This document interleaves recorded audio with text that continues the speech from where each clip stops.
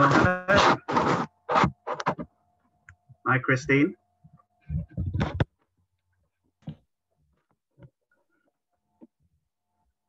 Hi, Liz.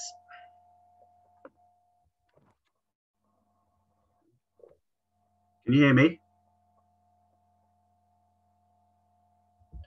Maybe not.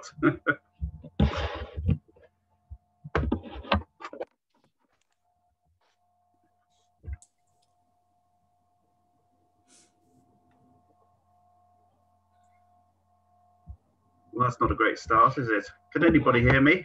Yes, I can. Oh, you can. No, Hi, good. Malcolm. Lovely. Hi, Christine. Hi, Keith. Hi. And we've got uh, Liz and uh, Karen on as well. Welcome both.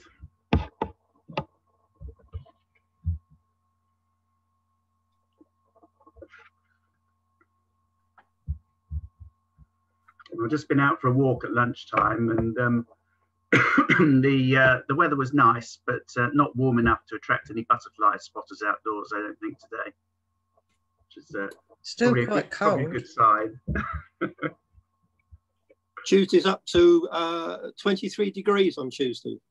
It's amazing, isn't it? I saw that. It's um, Crazy.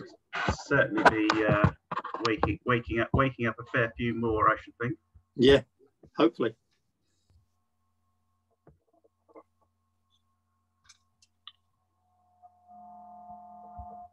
You know, it's been I think it's been a fairly fairly average start to the year so far. There's been um, Trouble is, the weather keeps changing, doesn't it? You know, the, yes, it's, the- it's a very windy day today. I went out running this morning. It was very quite chilly. yeah. I'm hope, hoping Andrew Wood's going to join us in a little while to um, help um, talk us through how uh, butterflies have been doing so far this year. Okay.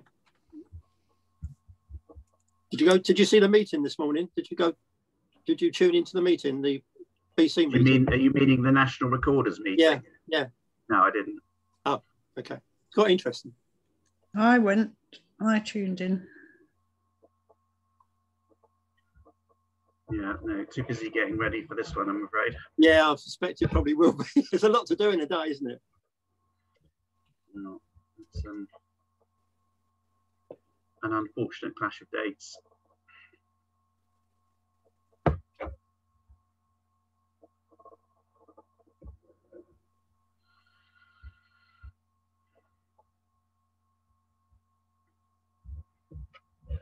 Now, there's Andrew joining now. Hi, Andrew.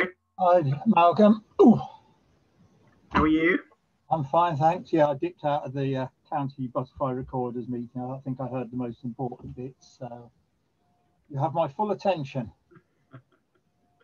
Excellent. Well, we were just we're just saying it doesn't. It's not a not a, not a very warm day outside today, so that should should be good for encouraging butterfly spotters to come come to the meeting rather than uh, go out butterfly spotting. Let's hope so. It's always a risk.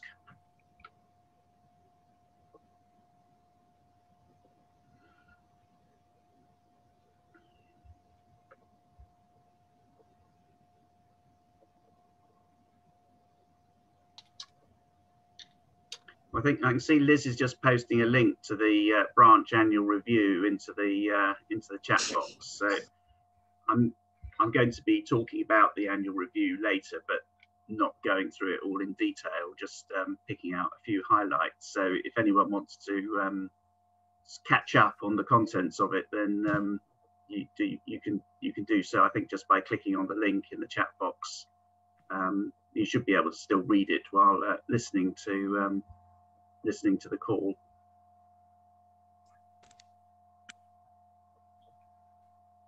Hi, Brian. Hi, buddy. Hello, Brian.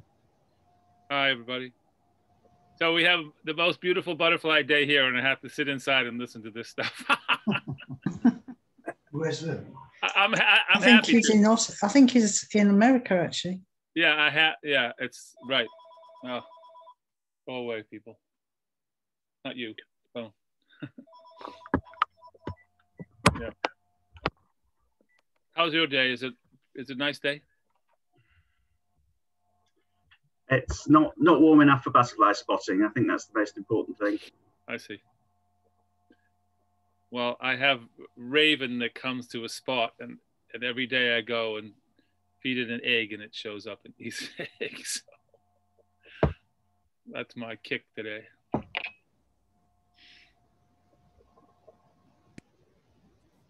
Do you have any swallows around yet? Hi, Karen. Nice to see you. Hello, hello everybody. No, we haven't. We haven't had any swallows. Not yet. Oh, okay. I was going to ask um, Andrew if he could update us a bit on what's uh, what's been seen flying so far in uh, parts of Middlesex this year, butterfly wise. Yeah, sure. Um, it's been a pretty slow year, really, because the winter was the sort of winter up to the last week of February was pretty cold, and about the only thing that was seen was um, a peacock on the 21st of January. Then we had a warm spell at the end of February where we got brimstone, comma, small tortoiseshell, and red admiral, all noted in that last week of February. Um, and then it went very quiet again to about the 9th of March. And then it's quiet again to the 19th of March. It's been a, been a lot of cold, dull, wet spells uh, this, this early spring. Um, since the, the beginning of this week, though, there's been a fair trickle, trickle of records in every day because you'd expect the hibernators to have finally emerged from hibernation simply because of day length as much as anything. Though I know, I know Malcolm's still got some of her, his hibernating butterflies in his shed. Um, but since then, we've also had three more species noted. Uh, Liz saw a small white in her garden on the 21st of March, and there was an orange tip uh, reported on the 22nd of March. And, uh, March orange tips are uh, still quite um, an unusual thing. Um, and then I was looking on iRecord this morning, and there's a record of a holly blue from the 15th of March in Hackney. So we've actually got, uh, I think it's what, eight species so far uh, flying, which is, is reasonably respectable for coming up to the end of March. Um, but uh, with the weather that's forecast for next week, particularly Monday, Tuesday, and into Wednesday, um, who knows what we might see? It might even be some migrants coming in with the sort of temperature predicted to be up in the low 20s um, on Tuesday. So uh, could be a very interesting few days at the beginning of next week. Um, and as we don't have to, as uh, we've got a few s- m- movement restrictions lifted as well from Monday, um, everyone should be out there keeping an eye on things and uh, seeing what we might see. And we may yet turn it round to make it an absolutely fabulous March for butterflies. You never know. Trouble is, 1st of April, first day for transect recording, the temperature plummets again to about 10 degrees and then stays around about 9 or 10 degrees for the next next uh, 10 days or so, according to the long range weather forecast, which is just about absolutely typical. So uh, that's where we are at the moment. Well, that sounds um, sounds like it's quite a good start to the season. I must say, my as you said, my hibernating butterflies, most of them are still in hibernation. There's only about 30% of them come out so far, um, so it's quite um, quite early days in the season yet. And I've, um, I'm working next week when uh, I think Keith said it was going to be 23 degrees on Tuesday. Um, and then I'm on holiday the next week when it's cold. So that's usually a good way of uh, spotting um, spotting when butterfly weather is going to be good when I when I book holidays. I've got um, yeah, we've got some more people joining. For, th- for those that are just joining, I think Liz has um, posted a copy of the uh, link to the branch review in, in the chat box. Um, if you, I'm going to be speaking about that a little bit um, when we get into the meeting, but only touching on a few aspects of it. So if you haven't read it and you want to, um, then th- there's a link in there that will take you to it on the branch website. Um, and we, we're happy to, to answer any questions on it as we, um, as we, as we go through the formal business. I've got, um, I can see Roger Gibbons has joined as well. Roger, um, you're talking to us uh, in a few days' time on the subject of the French connection, um, which um, sounds intriguing. I thought you might like to just um, spend a couple of minutes uh, explaining to people exactly what that means. Yes, it's um, uh, you, you're not going to see Gene Hackman in it, and got nothing to do with drugs. So sorry to disappoint you. Um, yeah, the, the, the talks have gone extremely well. They've been very well supported. So given that our um, uh, Zoom license runs out fairly soon, we decided to add one more talk, squeeze one more in. Um, this one going to be slightly different. It's, it's basically a meander through France, um, but not something that will be um, unfamiliar because in each case we're going to start with a familiar British species and look at the species in France which are clearly related to it and um, have a look at their um, sort of uh, ecology and how they're how they're separated. Things like um, uh, looking at brimstone and Cleopatra, um, etc. Looking at um, uh, some of the questions about the ecology, uh, which I don't pretend to have the answers to. I mean, for instance, why uh, swallowtail is limited to the Norfolk Broads in England, and yet it's it's common in France, uh, even on up to 2,000 meters altitude and beyond, above. Um, Marsh fritillary, for instance, which um, is fairly uh, uh, limited in Britain, uh, but in France there are five different subspecies which all look completely different, uh, and at least one of those is uh, a very high altitude, 2,000 meters plus. Um, I don't, don't pretend to have the answer to these questions. And one question that I've always scratched my head on is there's a butterfly called the Ottoman brassy ringlet related to the Scotch Argus, which only flies on Mont Lozère in the Cevennes in south central France and in the Balkans. Uh, were they ever connected? So there's more questions than answers, but it'll be an illustrated talk uh, lots of pictures, lots of questions. Hopefully, it'll be a sort of an interesting way to sort of finish the um, the talk season. Thank you.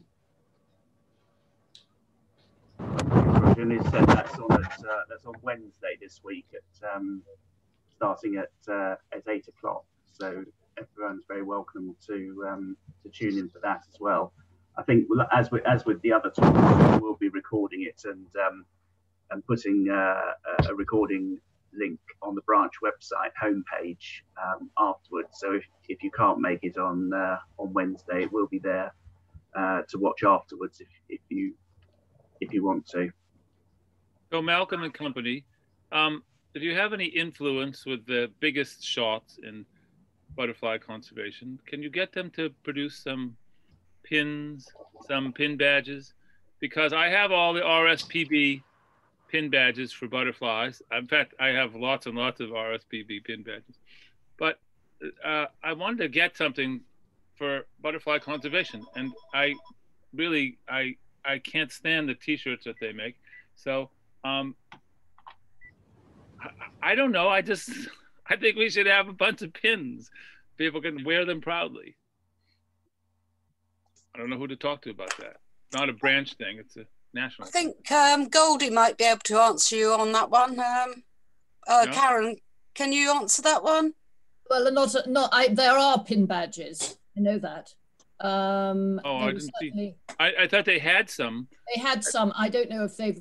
You you you you've heard that they've run out. Have you? Well, I I I looked someplace that they there were four originally, and they don't have them anymore, and and it doesn't say anything about plans to bring them back. Just as I said, dreadful T-shirts. Yeah, yeah. Well, it's not. It's not an area where it's not a area where butterfly conservation majors producing these things. Um, it's not like the RSPB. We don't have that ability. But uh, I, maybe they aren't um, continuing them because they weren't that popular or weren't used. Okay. Um, I, if you if you want, I mean, Malcolm. If anybody uh, that's listening has some that they don't want, I'll buy them from you.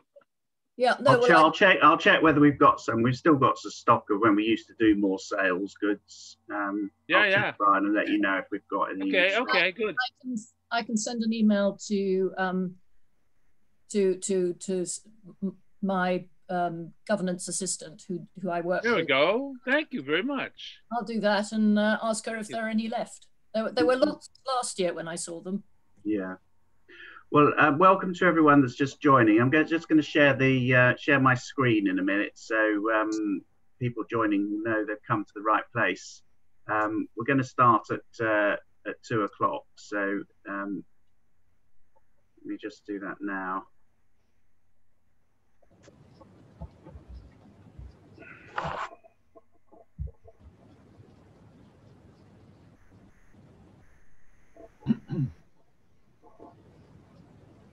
Right. Can everybody see the screen? Yeah. Yes. Yeah. Yeah. We've still got a few more people coming in, so um, still got another few minutes before we um, before we start. Um,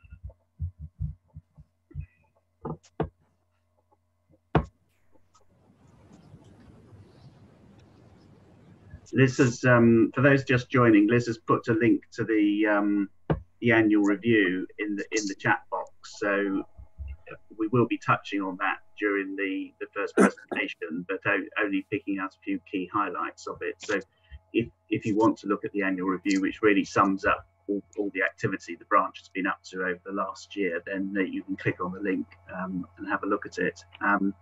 I should also say the uh, our photo competition is still running. Um, it's been open for a few days, and some of some of us have uh, voted in it already. But uh, it's still open to voting until uh, four o'clock this afternoon. We'll be announcing the results um, once at the end at the end of the day after the last speaker. Uh, but if you do want to vote and look at look at the photos and vote, then you can. Uh, if you click on the link in the chat box, then that will that'll allow you to do that, um, and hopefully still stay joined on to the meeting as well at the same time. Some great photos in there. Um, in interestingly, there are uh, uh, well over 100 entries in the UK uh, butterfly competition this year, but not a single one in the overseas butterfly competition, which is uh, sorry. I suppose we could. I suppose we could have predicted really, but sorry. But, uh, you, you, you probably have swept the board, Brian, if you had entered, because that was, uh, no, nobody else got overseas. I guess so. I have some very good pictures of frosted elfins. Uh, well, you've, you've, missed out. Next year, I will do it next year. Uh, it could, could, be stiff competition next year, though. Actually, having having having seen the way the uh, foreign travel is uh, is going, it, you you might you might have a clean sweep next year. I well. say no French butterflies. Not allowed to go to France, no. No, but I mean in the competition, the photo competition. No. Yeah, no, well, that's exactly. Oh, it. that's You're right. From last year, I see. I, I, no, no, I see. It had to be from last year. Oh yeah. Well, let me see if I can find a picture of one here, and I'll just, I'll just hold it up. You know. Give me a moment. All right. What do I win? A pin? No, you're too late. Too late to enter now. I'm afraid. Okay. Okay. right. Wait.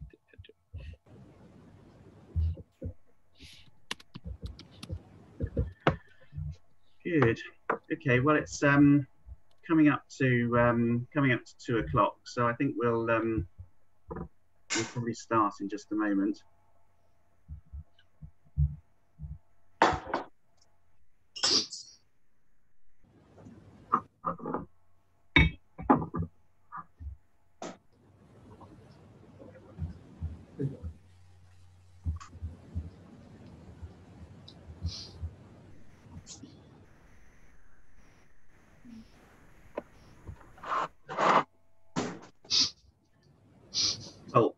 Good afternoon. I'm Malcolm Hull. I'm the chair of the, the Herts and Middlesex branch of Butterfly Conservation. Welcome to our first ever online uh, annual general meeting and members day event. Um, it's good to see so many of you here. Um, what I'm going to do is just um, talk you through um, the agenda for the, this afternoon, and then we'll launch into the, the formal part of the proceedings with, with our AGM. What we've got uh, two great speakers uh, today, Phil Sterling and Zoe Randle. Um, we'll introduce them in detail um, just in, in, in, advance of their talks. Um, but what we're uh, what we're going to do first is to to look through look through the annual review, pick out a few key highlights, and go through the formal business of electing branch officers um, and approving the minutes. Um, I think there's um, a few things I just need to say first. Usually, usually, I talk about fire escapes at this stage, which you'll be relieved to hear aren't, aren't on the agenda today. Um, but there are a few other formalities associated with online meetings. Um, can you all um, please make sure that you are on mute and also turn your video camera off while we're um, we're having the the presentations, it's just so it doesn't distract the speaker and the audience. Um, we are recording this uh, this session, so if you don't want your image to appear on the recording, please keep your camera off at all times, or as Brian's just done, walk out the room. Um, if um, the, the recording will be available on the branch website probably in a day or two's time. Um, so if you miss part of it um, or, or, you want to watch it again, then uh, you you can you can look at it, look for it on the homepage of the of the website. There is a chat box facility, um, which I've referred to a few times. You should find a control to access it somewhere around the edge of your, your screen if you've got any comments or questions or things you just want to chip in um, during the whole course of the meeting, then please put it in there. When, when we're having um, questions, we'll try and take them at the end of each session uh, just to, to avoid um, damaging the flow. Um, also, there will be a few polls that I'll be running um, in, in mostly in relation to the formal parts of the events, and I'll, I'll talk you through that and what needs to be done uh, as and when we get there. Um, so moving on to um, the the formal section of the meeting. What, what we try to do is to simplify this as much as possible um, to, to, to remove the um, uh, too much formality, but also to, to focus on reporting on what the branch has actually been up to during the last year. Um, so it has been a very interesting year. Um, and once we've done that, we'll go through the, um, the accounts and the, the branch branch officers election. So first of all, apologies for absence. Um, Liz Goodyear's uh, secretary has reported we've had apologies from uh, Chris Hilling and also from Paula Reed. Um, if if there are, if anyone else is aware of any other apologies, then could you just put those in the chat box so Liz is aware?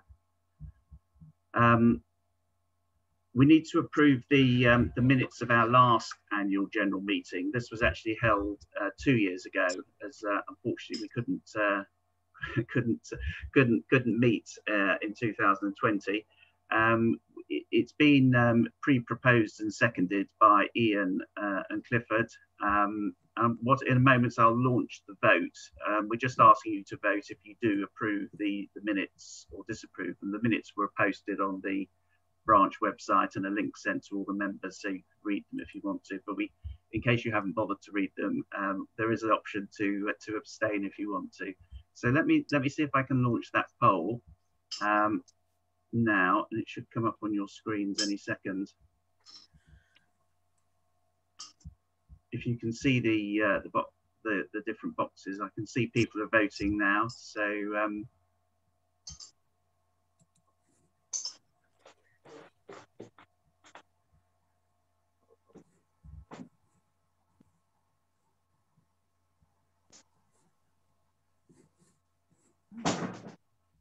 Excellent. Looks like you've all got the hang of it.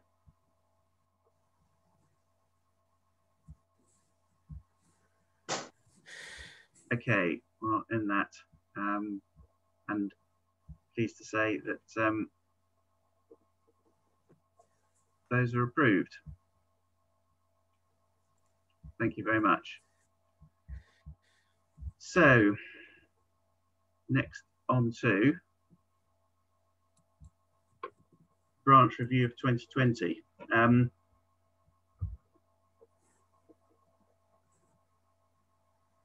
as I mentioned, the, the, the, the branch review has been uh, published on the on, on the branch website. There's there's 10 reports from officers altogether, and it's it's actually a really interesting account of, of everything that's been going on during the year. Well worth the read if you haven't haven't looked at it so far. Um, but I won't go through all the details of it. We're just going to pick out a few highlights and perhaps look ahead a bit more than we did um, at that time. Um, 2020 really was the year when everything changed. Um, the, the, the, lockdown, the virus, everything was very different. Um, the, the, worst aspect, we had quite a few branch members and friends um, who sadly passed away during the year. I've mentioned um, several in my report, and I'd, I'd, just like to pick out John Hollingdale and Brian Sawford, who both founder members of the, the, the branch committee, who both contributed enormously to our work um, in their different ways. And, and very sad to, to, to, see their loss. And I know it was a, a year when many people did lose um, friends and relatives. Uh, I think it's important to recognise that. It says um, Windows not responding and my internet connection is unstable. So I can't get in. Um, I'm getting a bit of interference, so I'm just going to mute everybody. Hopefully you can still hear me, but I can't hear you. Um, so yeah, I think the the next thing I want to mention was our um, all, all, our, all our meetings were cancelled and, and, the majority of our butterfly walks um, and moth events, which was again was very sad. Though I was, I was, pleased we did manage to, to go ahead with a few butterfly walks in, in fairly restricted numbers.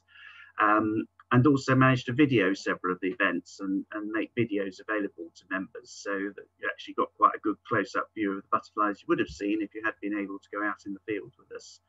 Um, we are um, optimistically looking forward to organising a programme of walks for the for the for the year ahead. Um, hopefully, starting towards the end of May, uh, and there will be more information coming out on that in the newsletter during May. I guess another big aspect of the year was the, the, the sea change in our online communications. Um, we've managed to get a lot more hits on the branch website, um, a lot, lot, more people looking at the Twitter and Facebook accounts. So we're really communicating an awful lot more better than we have um, with members for some time. Um, we've also started sending out our newsletters electronically. Uh, thanks to the new head office um, mailing system, we can now email all branch members, which has been invaluable during the, the, the, the process of organising these talks. Um, but we've also had been sending out the newsletters electronically and had some very good feedback from that. So I think what, what we've decided to do going forward is to, to focus on having um, newsletters sent out by email as the default method of communication. There will still be an option for you to, to receive a hard copy if that's your preference. And certainly for the time being, we're still planning to, to send the, the annual branch uh, report um, on all the butterfly sightings seen in the two counties um, in hard copy. But we will be um, both at branch level and, and head office level refreshing uh, people's desires of the different way they'd like to be communicated with in future. And you should be getting communications about that during the, during the next few months, certainly during the course of the year. Um, so please look at those carefully to make sure that we are communicating with you in the right way. The winter events program was another real success for our, for our online events. Um, we, we've organised five different talks on different aspects of butterflies and moths, and they've all been very well attended. I think we've had between 50 and 65 people for each talk. Um, we've got recordings of four of the talks um, on the homepage of the branch website, which you can catch up with um, if you missed them, and, and they're all well worth looking at the, the, one talk where the recording went wrong was uh, was was fortunately was the one one the talks I, I was doing. So um, you, you, didn't didn't didn't miss very much by not seeing that one again. But all the other ones are excellent. Um, and in fact, well, I was looking at the statistics of how many people have, have watched them um, since the recordings have been up, and we've actually for most of them we've had significantly more people watch them afterwards than actually attended on the on the on the evening. So we've reached between 100 and 150 people for each talk, which is fantastic. And just to give a plug to uh, the French Connection, uh, Roger's talk on the butterflies of France, which uh, will be on at eight o'clock this Wednesday. Um, Roger spends half his time in France, as those you know him are aware, um, except this year. So really, really knowledgeable, and uh, it should prove really fun. We're doing that talk jointly with the European Butterflies Group as well. I wanted to mention the some of the other ways we we communicate. Uh, the the video page on the branch website has uh, contains quite a lot of uh, links to quite a lot of videos that we've we've shot during the year. Um, and Peter Clark, who manages the website for us, uh, has also put in a selection of other videos from different locations that are, are all really interesting to watch. So if you go on the video page of the branch website, that there is a lot of interesting information on there now. Um, although it, on, on the website itself, it's all links and it links you through to other sites. Um, and for that reason, we've recently taken the decision to open our own branch YouTube channel. Um, so the Herts Middlesex Butterfly Conservation YouTube channel went live yesterday, um, which at the time I took this photograph had two subscribers, which was myself and Andrew Wood. Uh, but if anyone else would like to subscribe to it, then you will get not notified as and when new videos um, of local butterflies and moths are, are, added, and you'll be able to watch and enjoy those. Um, we do want to to increase the content on there, so if you've got um, any videos that you would like to share with other branch members, then do get in touch with either Andrew or Peter Clark or myself, um, and we'll make sure they get posted up there. But 2020 wasn't it wasn't the the only that changed was um, sorry.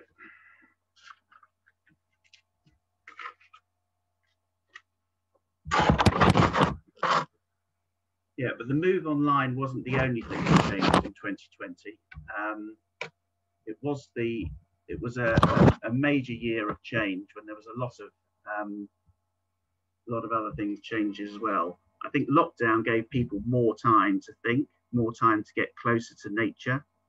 And COVID brought home to people how fragile life on our planet really is. The biodiversity crisis and the decline in insect populations were highlighted, um, not least by our President David Attenborough.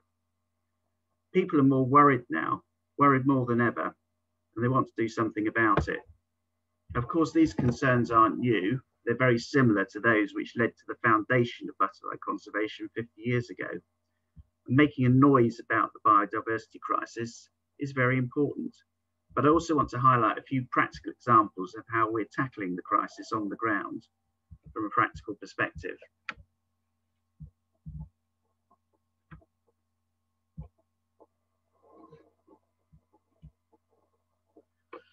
So what are we doing about it? Well, first of all, um, if you're going to tackle a crisis in biodiversity, the, the first thing you need to do is to have great information. Um, we've always been really strong in this branch about recording effort, and we have compiled an annual report. I think this is now the 26th um, in a row each year, uh, recording how many butterflies have been seen in, in Herts and Middlesex. This year we had 62,000 butterfly records, which is more than we've ever had before, and they came from well over 3,000 different individual um, recorders.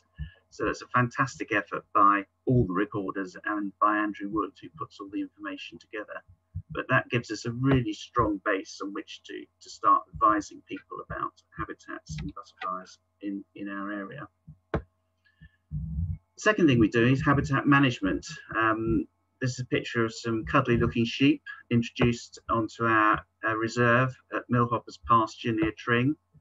We, we, we've had been managing this for several years and really got to know a lot about the ups and downs of managing a site for wildlife. But I'm delighted to say that this year, with our, our four reserve wardens um, working closely together, we've managed to get conservation grazing reintroduced onto the site. And that's one of the very best ways you can possibly manage a grassland where you're trying to attract butterflies. Habitat creation is another area that we focus on. Um, this is a picture of the, the chalk bank in Greenwood Park, um, which we constructed with the help of National Lottery funding. That's been that's been a good success and the vegetation's now becoming well established thanks to the uh, recent construction of a rabbit fence around the edge. But hopefully that will soon prove to be great habitat for small blues um, and other local butterflies. But perhaps the thing we do best is when we bring all our skills together. Um, this picture of the brown hairstreak is, is one I took in, in West London, a butterfly that died out in our area um, 20 years ago, but has now successfully managed to make a comeback under its own steam. And we've been really helping and supporting it along the way. Uh, first of all, um, an, a, an, amazing recording effort, um, which has carefully mapped the locations it's the butterfly and its eggs have been seen in, so we know exactly where habitat needs to be managed to be suitable. Secondly, identifying what habitat management is appropriate for the species. And then thirdly, engaging with the landowners and local authorities in order to make sure that they do understand that they have a rare butterfly in their area and how to manage the sites for it. And I think we're starting to get some real successes with our um, agreements with the, the landowners Ickenham, which is the main site, and also seeing how it's spread around the around North and West Middlesex, now within a, a mile of Hertfordshire border. So we're hoping that next year we'll be able to report it in Hertfordshire as well.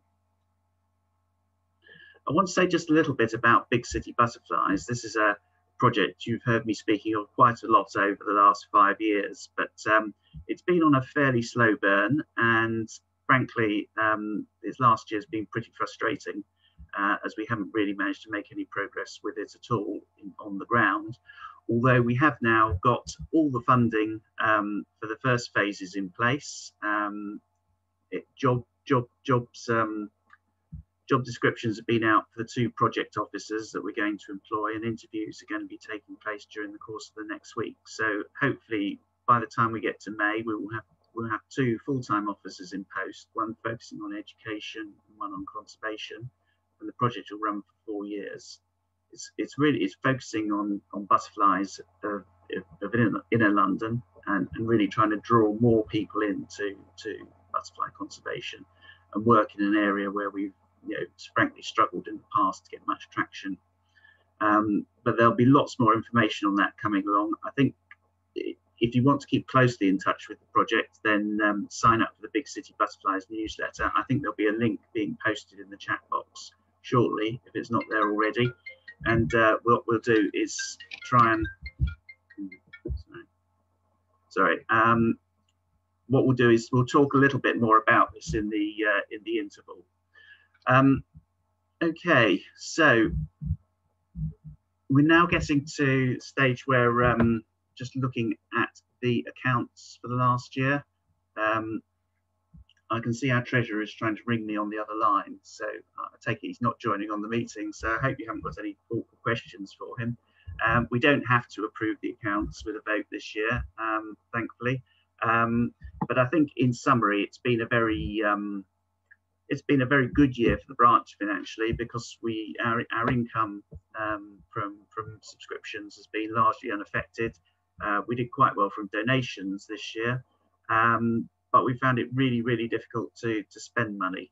Um, the accounts you're looking at are for the year up to March last year, when we'd already started to, to find trouble spending money. And uh, frankly, in this year, we've, we've, we've spent even less. So we did, um, during the course of the year, decide to make a donation of uh, £5,000, which is a considerable sum in our terms, to, to head office, um, as head office uh, have had real financial problems as a result of um, grant funding being turned off during the, the COVID period. Um, but what we what we're doing now is um, is, is put setting a budget for the year ahead, uh, and hopefully that will will get back more into even even territory. But as things stand, we're we're in a very good financial position at the start of um, this financial year, which starts in April.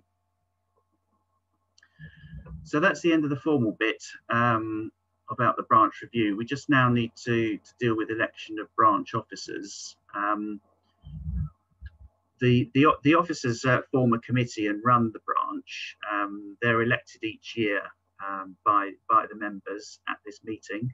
Um, every year, a third of the, the committee has to stand down um, and if they want to, can apply for re-election. Um, as we didn't have a vote last year, we've got uh, four people from last year that are, all, all want to apply for re-election, and another four from this year. So that's eight. In addition, we've uh, co-opted uh, Clifford Mullett as treasurer uh, and Alex Lewis to do publicity during the course of the year.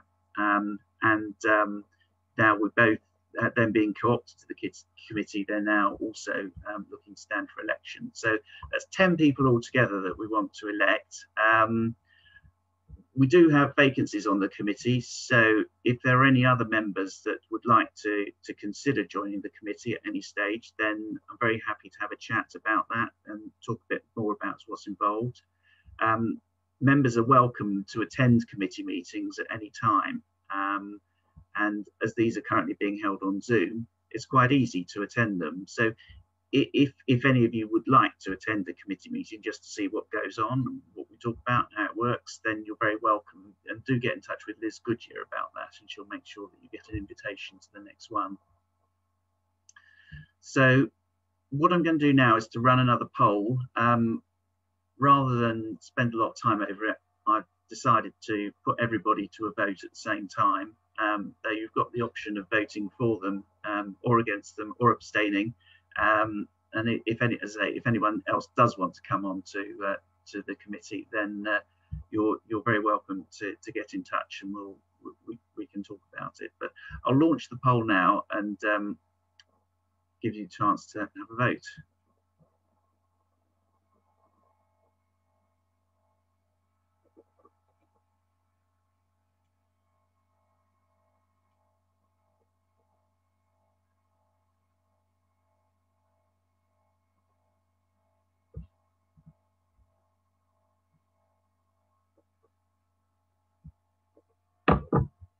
I can see people are voting, which is um, is good news because it's the first indication I've had for about uh, the last 15 minutes that anyone's still there.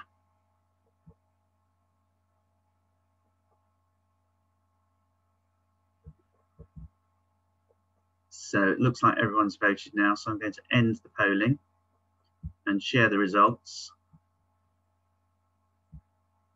which look fairly conclusive.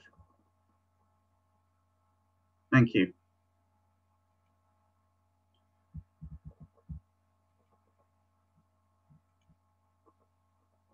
Right, so that really brings us to, to the end of the uh, annual general meeting section. Thank you to everybody who's taken part in branch activities during the year, um, particularly um, the committee.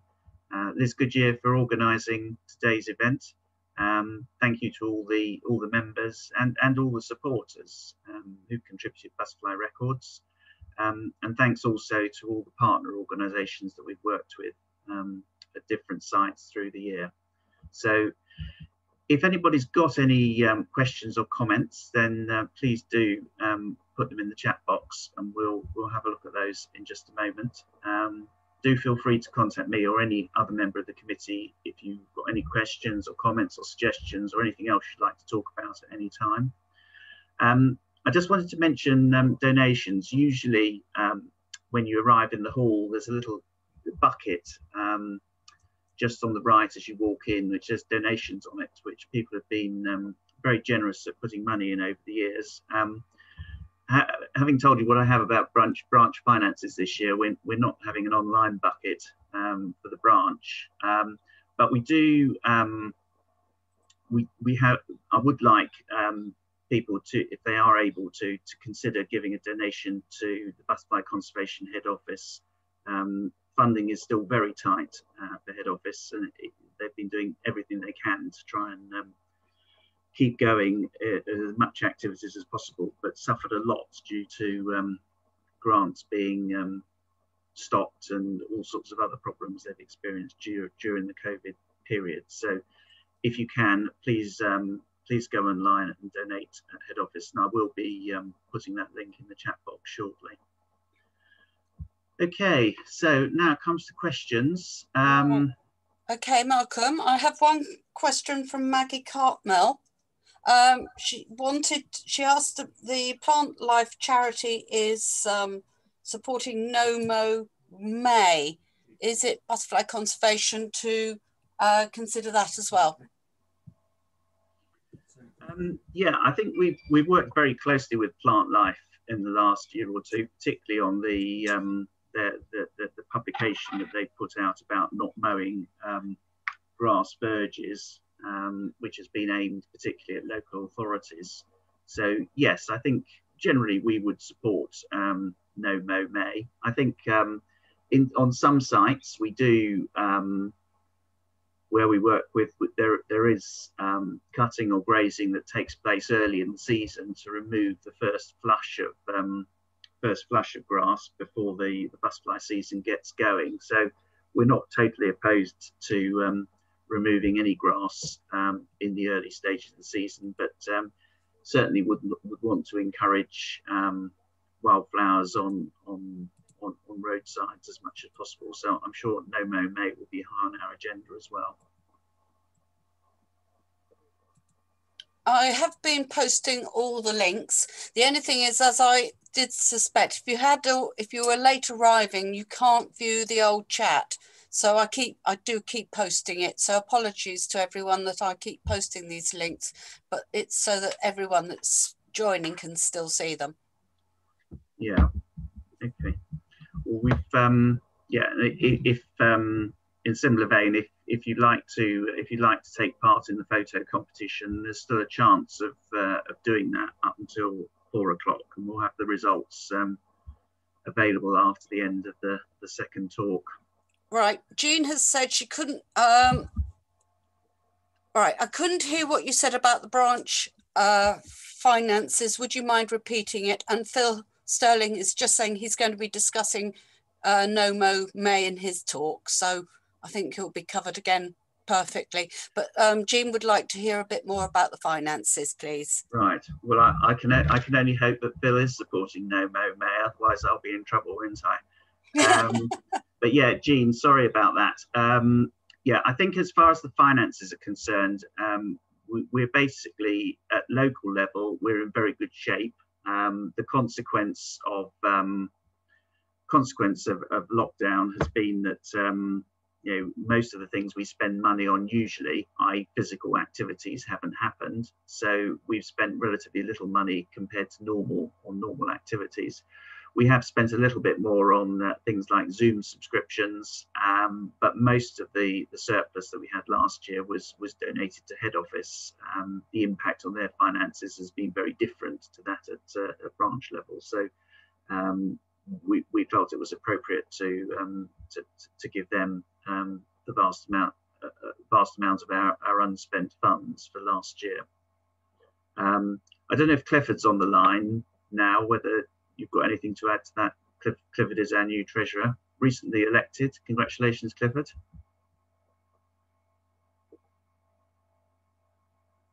Maybe not.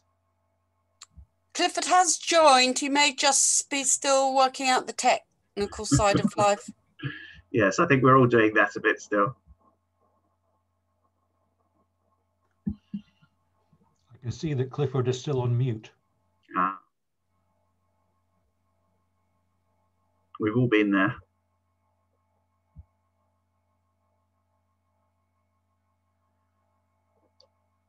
Does, does that answer your question, Jean, or was there is there anything else that you wanted to know? Okay, I'm, I'm off. Hi, Clifford. Sorry, I didn't take your call earlier. I was in the middle of talking. Yeah, I've, I've I, have had um, it didn't work on my iPad, so I had to suddenly get onto my computer, and now I'm back on the iPad. Oh, so, well done. yeah, um, uh, you're quite right in what you said. Our our, um, our subscriptions have stayed um, pretty stable. Thank you very very much for, to everybody for sticking with us and um, keeping our income going. And of course, our um, our expenditure has gone down we're, we're budgeting for a bit more expenditure, but in view of our reduced income, um, sorry, reduced expenditure, we had a quite a good surplus and we've transferred £5,000 back to head office, who are struggling, I understand. Um, we're not, and uh, our budgeting for, for, for next year um,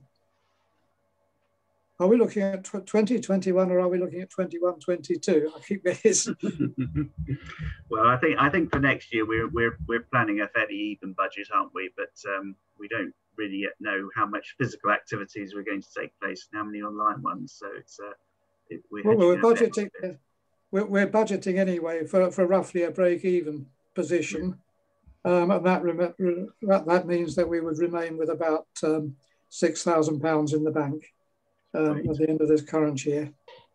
Cool. Okay, thanks very much. Were there any other questions at all, Liz?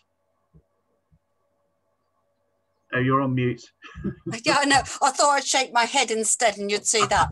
Um, no, we have. There aren't any more questions. I've just put a link to the photo competition again, so people can go and visit that in this short break. Um, yeah. Um, yeah.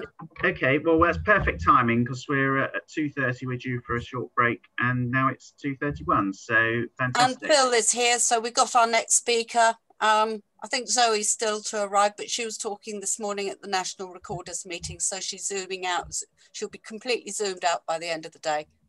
Okay, so um, what we thought we'd do um, now, we'll, we'll give you a chance to um, stretch your legs and get a cup of tea if you'd like to. Um, we're very conscious not to induce Zoom fatigue in any, in any members, but um, uh, we've got, um, I think Paul Busby is on the line, and we'll we'll be talking a little bit about big city butterflies and the, the project that's coming up in London. In a moment or two, I'll show you um, a slideshow that uh, Kate Merry, the, the, staff officer that's running it at present, has put together, um, which will give you a little bit more idea of the um, about the event. Um, but then Paul, Paul will say something and, and be here to answer any questions specifically on, on that. Um, we'll then start again with the, uh, the, the, the, more formal part of it at um, 2.45. Okay.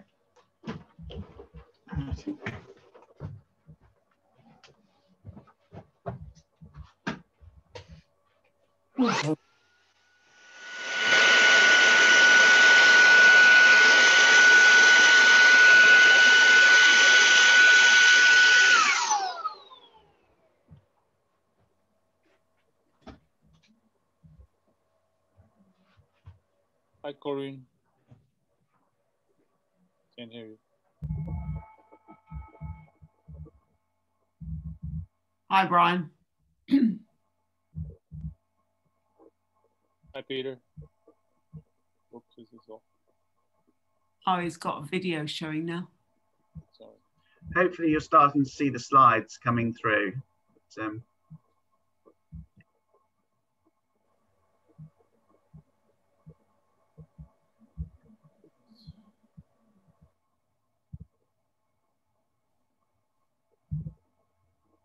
There are some pictures a bit later on.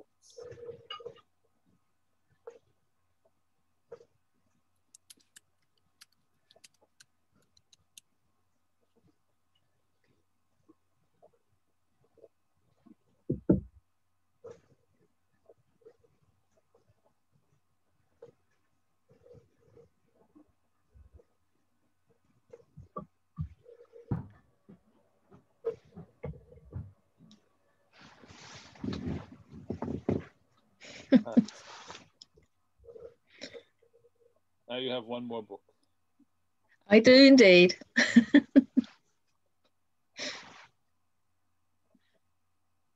Have you still got snow?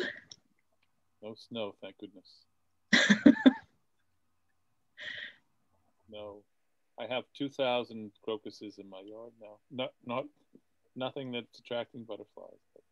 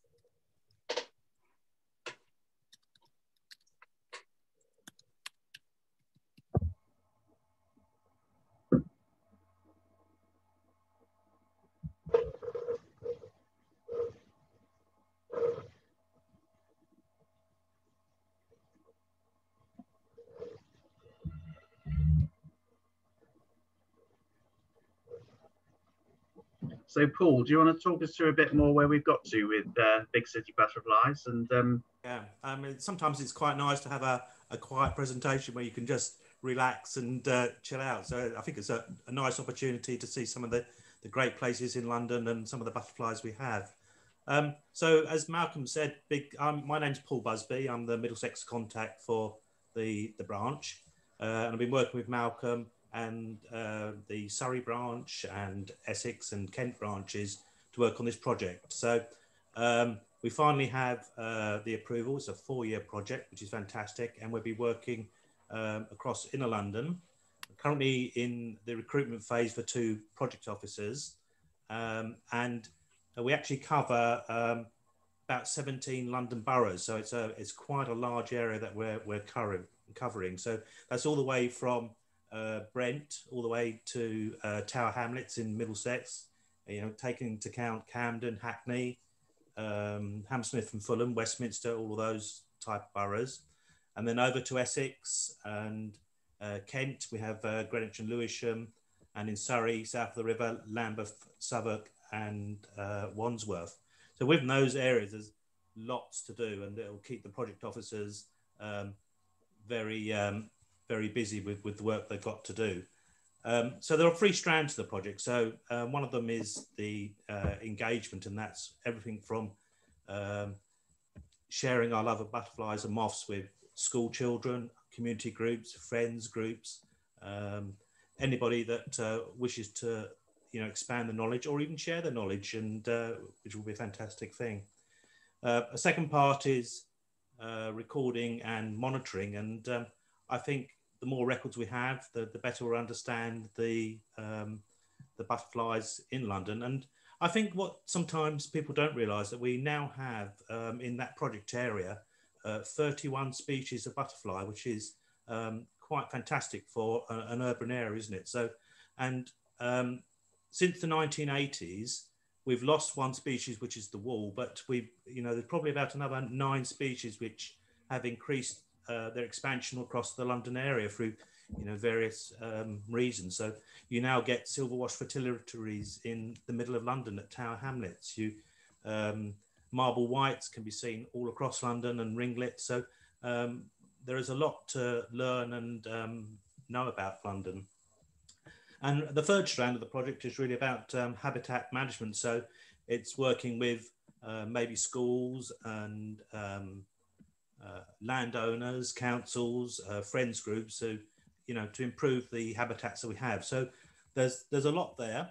Um, people can get involved in any um, way they'd like to. All the events are, are free. It's a national uh, uh, heritage lottery funded project, so all events will be free. Um, and probably if you're interested in uh, learning more details is you can sign up for the newsletter which uh, liz has sent the link around.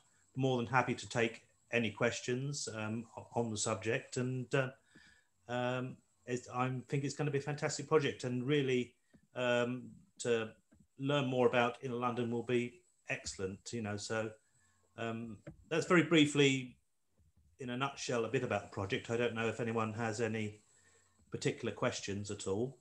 Um, it may, of the start and launch will, has probably been delayed a little bit with COVID, but um, I think recruitment's going well, and um, hopefully uh, late spring, you know, we should expect to launch the project, and um, it'll be lovely if people want to uh, get involved with the project, either as a visitor to London, or whether you work in London or you reside in London.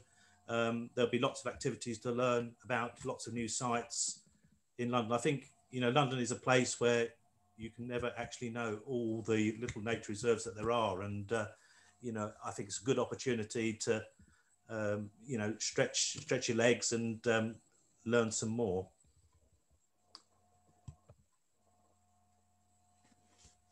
I don't know if anybody's got any particular questions or um, um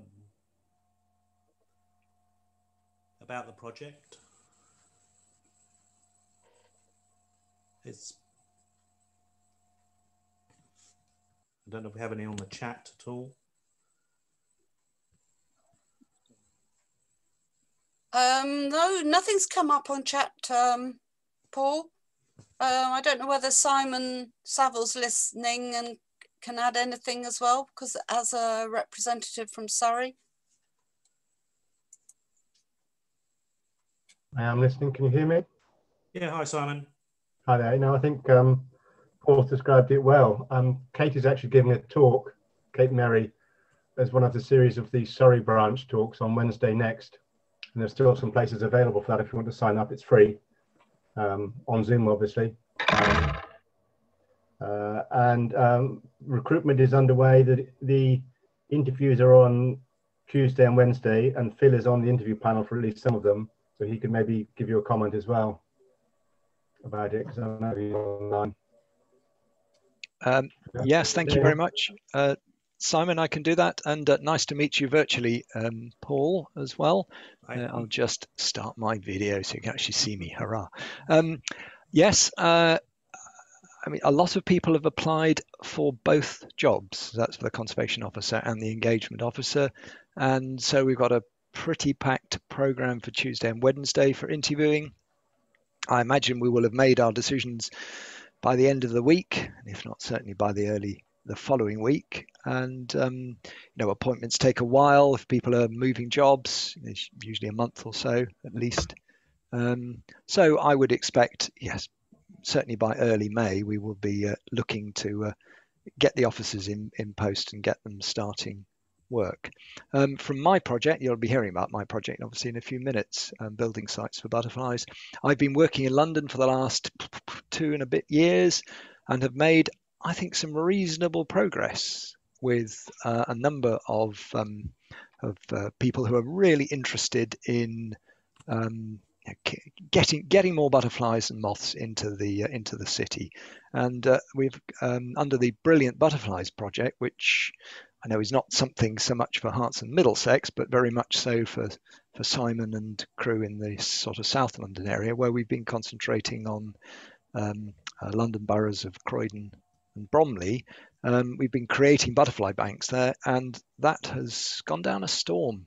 It's done extremely well, despite all the difficulties of working in lockdown. And we've had tremendous support online. We've been out there creating habitats within the uh, within the, the boroughs, and and it's all gone very well. It's a very short project, only two years, so it ends in September. But um, but we're really surprised, I think, by the take up, and so I think this bodes extremely well for big city butterflies. Is that certainly there's a there's a ground plan of how we've approached in partnership with the London Wildlife Trust and with the Natural History Museum the, um, the, the, the, how do you create uh, sustainable habitats for butterflies and moths within an existing built up area. So we know we know pretty much what we would like to do, and it's it's um, big city butterflies is is different. It's bigger, it's broader, um, but it will be attempting to do some fairly similar sorts of activities with people and to create habitats in urban areas. So uh, I mean, it's a fantastic fantastic opportunity, and I will I will be playing my part in helping to to advise the officers on on how they can create the create a big wow in London. So I'm really looking forward to it. Right, thanks, Phil. Um, I'm afraid I have to stop you talking there because we've yeah. got to uh, make way for our next speaker, um, which um, is you. yes, excellent. so, um, welcome to uh, Dr. Phil Sterling. Phil is uh, a doctor of philosophy um, who spends much of his time in Dorset. He's passionate about butterflies and moths. Uh, he works for Butterfly Conservation as a program manager for the Building Sites for Butterflies program. Um, he's joint author of uh, various books, including recent field guides on caterpillars and micromoths. Um, Phil, Phil's helped us uh, a good deal when we were working on the Greenwood Park project, which uh, which I mentioned earlier, which we're very grateful for. Um, and um, we're very much looking forward to hearing what he has to say. So back to you, Phil. Oh, thank you very much. That's great. Yes, perhaps I shouldn't have spoken so much earlier, but there we go. Anyway, you're going to hear a bit from me now for the next I guess 40 minutes perhaps, and then we'll have um, time for questions, or if people need a break, they can have that. But um, I'm fully aware people could get zoomed out this afternoon. So um, feel free to pop questions in the chat as you go along, and uh, you know because there's always plenty of plenty of things to say. Um, my my history is that um, as well as being a uh, an academic ecologist, I've spent probably 30 plus years working either in industry or in local government as um, an ecological advisor. And it was particularly in my time working at Dorset County Council for nigh on 25 years that I, I don't know, I mean, there are lots of opportunities to create habitats, but I think of the, the one thing that really got up my goat was the oh, pathetic management of green spaces that were within uh, urban areas that just didn't seem to reflect the, the, the, the, the obvious trends that were happening in our wildlife in this country. And and just to see the constant constant mowing of grass just really did it for me and i think i just got increasingly frustrated by that and then oh happen chance 4 years before i left the county council i was promoted and put in charge of road verge management within the county council. So that gave me just about a million pound budget and staff and contracts. And for the first time ever, you put an ecologist in charge of an enormous area of green space management. Whoopee.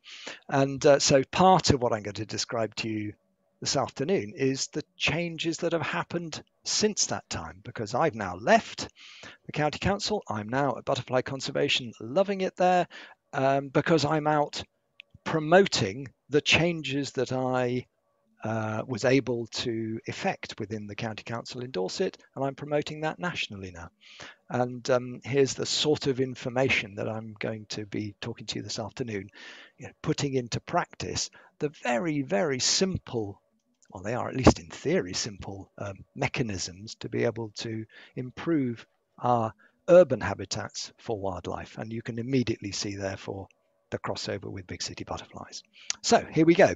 My talk. I'm about to share my screen and it is, let's just see that we can see that. If somebody could, I can't now see anybody, so I will need somebody just to unmute and say, I can now see the screen. I can see the screen. I Wonderful. can see the screen. Thank you very much indeed. Great. So making the best of the built environment for butterflies and moths. Now, you know, leading question this, which would people prefer? The following this view here in the screen or this view? It's pretty obvious, isn't it really? These are both managed pieces of green space. Uh, in the first example, it is gang mown regularly every year. And with the decreases in uh, in budgets with local authorities, then gang mowing is a little less often, and so you end up with these massive clods of rotting grey, brown grass all over the place. It effectively makes the green spaces pretty unusable for the period, and it contributes absolutely nothing to wildlife conservation. In this picture you're seeing here is this was very much a gang mown piece of uh, uh, green space within uh, urban Weymouth, and we transformed it. It wasn't very hard, and I will tell you how we did it. But what is really important is that we understand these days that our green spaces are not just about neat mown grass. We actually want a whole lot more from them. So uh, we expect our green spaces to help out with flooding, with biodiversity, with, with climate change, with air quality, but we also expect them to create a sense of place. And, and that's very much from a wildlife and a wildflower point of view about the local species that live in that area. And another frustration of mine is that every time you turn up to a supermarket, it's the same flipping trees and shrubs that are planted all over the country. And that frustrates me is that there's nothing local about them. Indeed, these tend to be species that aren't even native. So there's not a hope of a white letter hairstreak being able to to to thrive in a in a supermarket car park because nobody's planted any disease resistant elm. Now I know some people will already have started that, but that's the mission I'm on is to get people to see some simple changes that they can make to the, the, the design and the management of green spaces to start building those ecosystem services that green spaces can provide, some of which are on this slide. Now, here's how we normally create our green spaces, so our grasslands, is that whenever they're designed, traditionally, I don't know, for the last 40, 50 years, whatever the material is that was beneath the, the, the, grass and the rest of it, it has a good layer of topsoil put on it. We've become obsessed with this stuff, and it's time to unleash ourselves from topsoil. And we tended to put on 150 mil of topsoil onto a subsoil or a mineral base, and then we sow it with amenity grass. And part of the reason for doing that is because the day the road opens, the school opens, the community park opens, the mayor or whoever it is, a dignitary, comes along to cut the ribbon and everything's looking neat and tidy and green and pleasant. And that's great, but somebody has to look after it forever and a day afterwards. And you can see in the right hand picture here in the center just the amount of mowing that we do in this country. I estimated um, uh, the amount of green space management, mowing that goes on th- across the UK to be somewhere in the region of half a billion pounds that we're spending on just mowing grass every year. Now, I don't know about you, but I think we could probably do something more useful with that money. And why I'm obsessed about topsoil is because soil fertility is actually a really powerful driver of grass growth. So if you look at the picture on the left and you look at the one on the right and compare them, this is a same piece of road verge not far from me down in Weymouth that was designed by my then engineering colleagues and uh, which had its normal specification of 150 mil of topsoil. And on the left, that's what they put down. And on the right, they'd kind of run out and and didn't order any in, and so left it as subsoil, spread the same. Um, uh, so that subsoil, that, that's that's no topsoil at all, and just spread the same amenity grass seed, and then left it. Now on the left, this is mid-April. Um, uh, uh, that grass now needs management, and that has to be mown in order to maintain the safety of the highway. So its function as green space means that it has to be cut. And on the right, on the subsoil, this low fertility material, it doesn't need cutting at all. This, this, these photos taken on the same day. And what you also notice, flip back to the left, two dandelions and a daisy that you can see probably. And on the right, loads of daisies and some dandelions and celandines. And if you got down on your hands and knees, you'd see a whole load of other common wildflower species in the turf. And that tells you pretty much everything you need to know about what drives biodiversity in amenity grassland is that where you've got low fertility, you get lots of fine grasses and herbs, and there are plenty of gaps for germination. Where you've got thick topsoil, you get coarse grasses, you get very few gaps for germination, and those coarse grasses dominate and smother the rest of the vegetation. If only we could understand that in our everyday lives. And part of my Building Sites for Butterflies program advice is to teach people how to do it. So that's the great thing about this biodiversity is that our grasslands the high bio, if we want high biodiversity grasslands, we want low fertility because in nature, our best grasslands for wildflowers, bees, butterflies, whatever it is, they develop on the poorest soil. So if you, you know, we cherish our chalk and limestone grasslands, we cherish our sand dunes, and uh, and some of our neutral grasslands. In fact, over in Hertfordshire, and not that far from from uh, Breck Sands with that amazing complexity of, of thin kind of calcareous and loamy soils. Wonderful, wonderful biodiversity out there, all based on low nutrient soils. And that's um, because our wildflowers are adapted to tolerate very low levels of nutrients.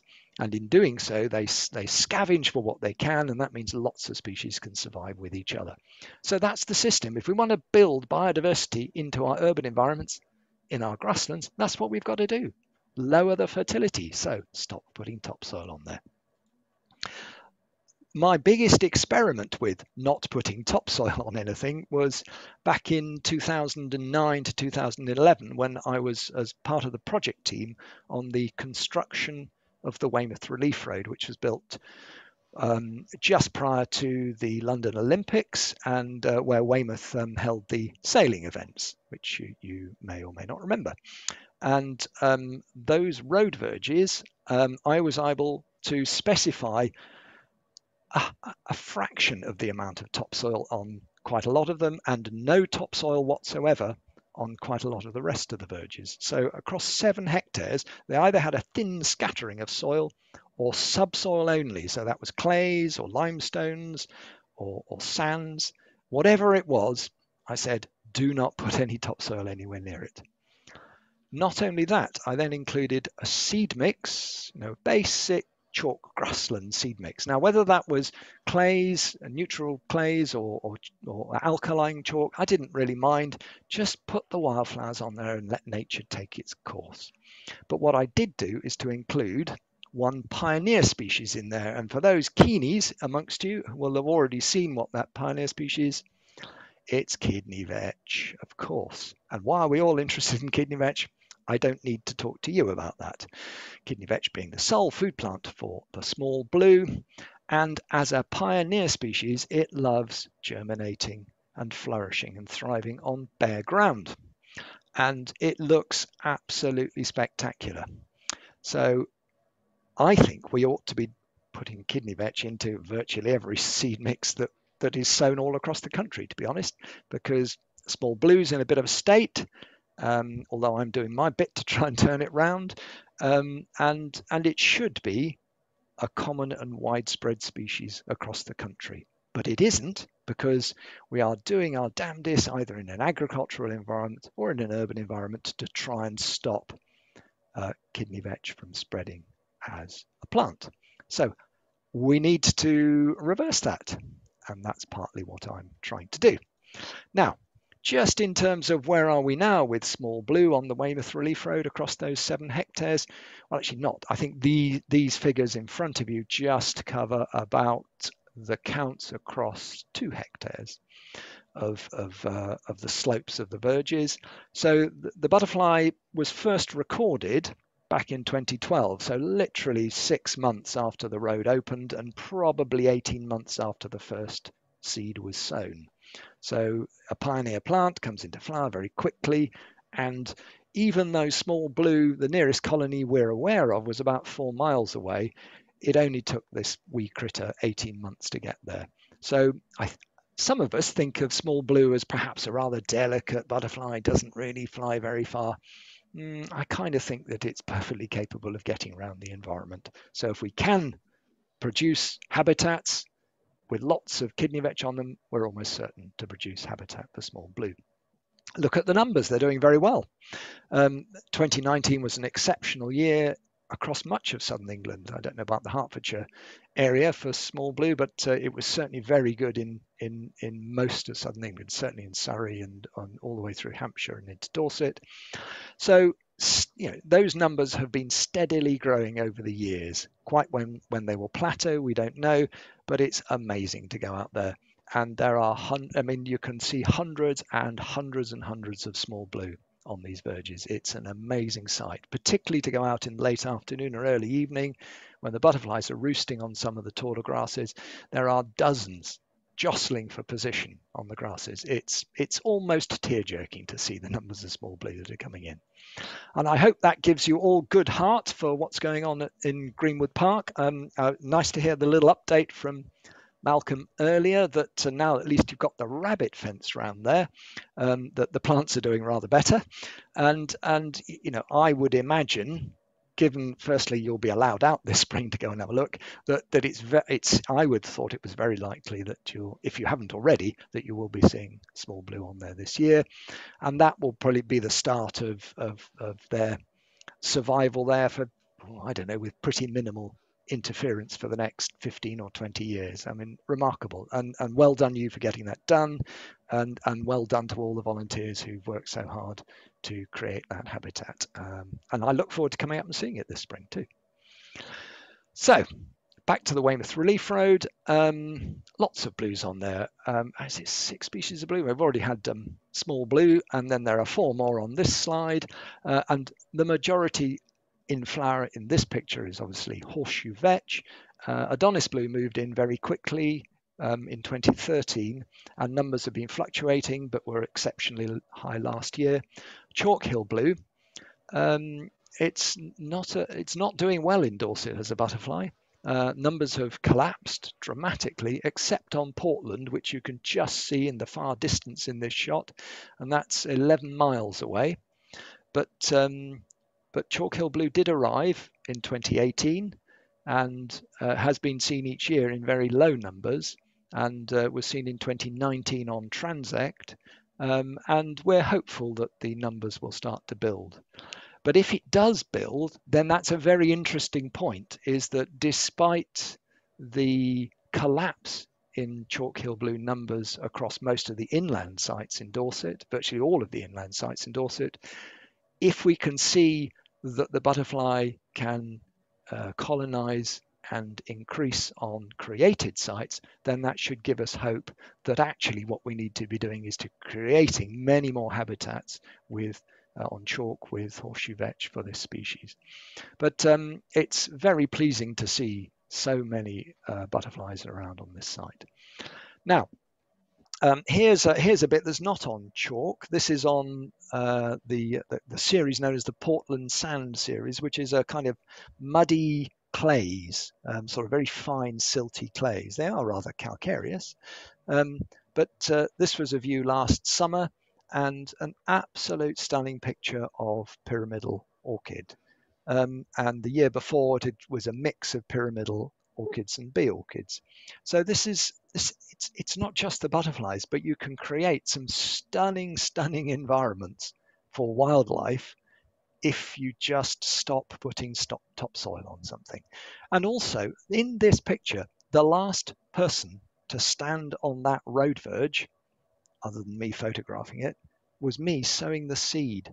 Nobody's done anything to that verge since. It's not had one single mower anywhere near it. It doesn't need it. It still performs its main function, which is to be open ground in the highway to improve visibility and, and it's uh, you know, maintaining the stability of the ground and it's costing the authority nothing to do it. And that is a really important message is that actually when you increase the biodiversity by lowering the fertility, you reduce the maintenance burden, and that's very important. But back to the wildlife. 141 species of plant when we last counted in 2019 across the seven hectares, and we are leveling off at 30 species of butterfly that have been recorded um, on the on the slopes um, in the last 10 years. And and as you will know, there are 59 or maybe now 60 species of breeding butterfly in Britain. That's hmm. nigh on half the species of breeding butterfly in Britain have been found in the last 10 years on the Weymouth Relief Road. I think that should all give us great hope that biodiversity is you know, is not a lost cause. We have it in our gift to be able to do each in their own ability to be able to create habitats for butterflies, whether that's in a garden, in a park, as part of a major scheme. But providing we get the basic specifications right, nature will follow on. And that's my motto really is if if you build it they will come. And so here's the overall numbers of butterflies uh, since 2012 which is when uh, uh, the good dorset band of volunteers started recording. Um, the numbers basically if you look at the trend the blue line for the total count per year by and large that's still heading up so the total number of butterflies as the habitat starts to mature and I reckon it's still got another 30, 40, maybe 50 years before it starts looking like chalk downland. But uh, as it starts to mature, I would guess the numbers will, will level off somewhere. But at the moment, the, just the numbers on balance over the years, subject to some fluctuations, just seem to be heading up. Numbers of species, we've plateaued at 30. Um, I'm not going to list them, but you know we're missing uh, grayling, green hairstreak. I think would be a couple that might venture forth and establish. Um, but maybe we've maybe we've got to as many as we're going to to, to get. We we haven't got a total list of, of, of, you know a full list of chalk grassland plants, and and I think species as the scrub starts to emerge in the next 10 years or so, I think uh, I think more species will arrive where there's a little bit more shelter. Uh, oh, dark green frit, for instance, that's not there. Well, there's hardly any any um, any dog violet there at the moment, but I guess it will come in. And maybe somebody will introduce it at some point, the plant. So, who knows? Um, but uh, but you know, 30 maybe it'll get up to 36 species in in another 10 years or so. But fantastic. Now, just as an aside, I've mentioned already the amount of mowing that is not done on the Weymouth Relief Road, and I've been working with um, Dr. Sarah Wynne from ADAS because most organisations and certainly local government and national government are very interested in greenhouse gas emissions. And we are all desperately trying to work our way towards net zero by particular timelines. And that means simply not using as much fuel to do the sorts of things which we regularly do.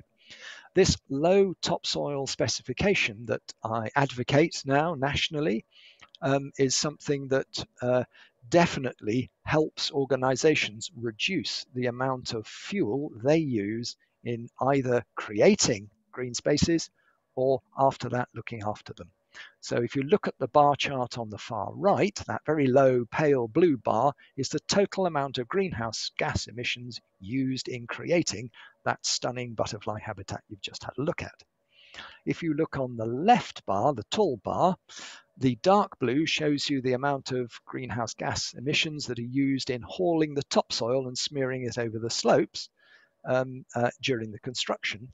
And then the pale blue is the amount of greenhouse gas emissions used in mowing it twice a year, which is pretty much the standard maintenance for, say, an urban dual carriageway or an urban fast road. Um, if you were out on a motorway, then that might be mown once every two, three to five years, and that's the the middle bar in in in the of the bar chart.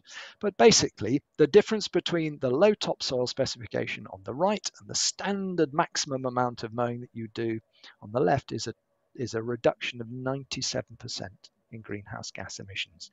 Frankly, this is a no-brainer, and I'll come on to who's already kind of caught this hook, line, and sinker in a bit. But this is something we absolutely have to do. Basically, we only want to put topsoil where we want mown grass for playing fields, for for, for hard wearing grasses. The rest of it, frankly, should be low fertility to include wildflowers so we increase wildlife. So we've got an awful lot of, of, of green spaces that we've already committed to 150 mil of topsoil and we keep having to mow them. Is there any way we can reduce, lower that fertility on existing amenity grasslands? And of course there is. And what I did when I was put in charge of the uh, green space services was to change the way that the grasses are mown from cut and drop mowers to cut and collect mowers. So those are mowers that pick up the grass as they're going along. And you will all have seen many places, and indeed some of you will be doing it in your garden. You will be cutting the grass and not picking up the clippings. Um, the, the principle here is that the nutrients that grasses need to grow are coming from the soil beneath. And that happens in the spring and the summer. And if you allow the grass to grow really long in the spring before you do your first cut, you are sucking the nutrients out of the soil.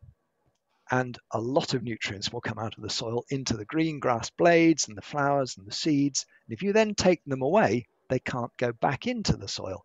And therefore, it's almost miraculous, but you're taking away that fertility. And as a result of that, the change can be remarkably quick and indeed you can probably reduce the amount of certainly mowing done in uh, municipal areas by about half in, in a couple of years. And the great thing about that is that once the wildflowers are established, if you're not cutting as much, they can flower and set seed between the cuts. So here's the uh, specification that I prefer, having tried it out with my stuff, is that if you're going to go into a new road verge or a public park, or indeed in bits of your garden where you've been cutting just doing cutting and drop mowing, is you need to go in there and and go in there a bit harsh for the first year. Reduce that fertility with three cut and collects during the first year. And in southern Britain, certainly is certainly up as far as Hertfordshire, I would suggest sometime in April, July, and September to do that cutting. Um, and when you've done that, so let the grass get as long as you can before your mower can't cope, then go and take it away. And the following year, you've depleted the nutrient levels in, in the soil so much that actually you will instantly see that the coarse grasses have declined. The fine grasses, so so your fescues and your and your bents, agrostis, they have come in, and instantly you can see, and even in this picture here, this is mid-May for a verge that would normally be cut at the beginning of April. No need to cut. It's it's doing beautifully and it's full of daisies. So you've already started that process by which common wildflowers can self-establish in these uh, in these in these verges or in parks. And it's just a very simple change in the way that we uh, deal with the management of the grassland. And just a few examples now, just so you know that this system actually does work. So here's a this is a um, a verge in Blandford.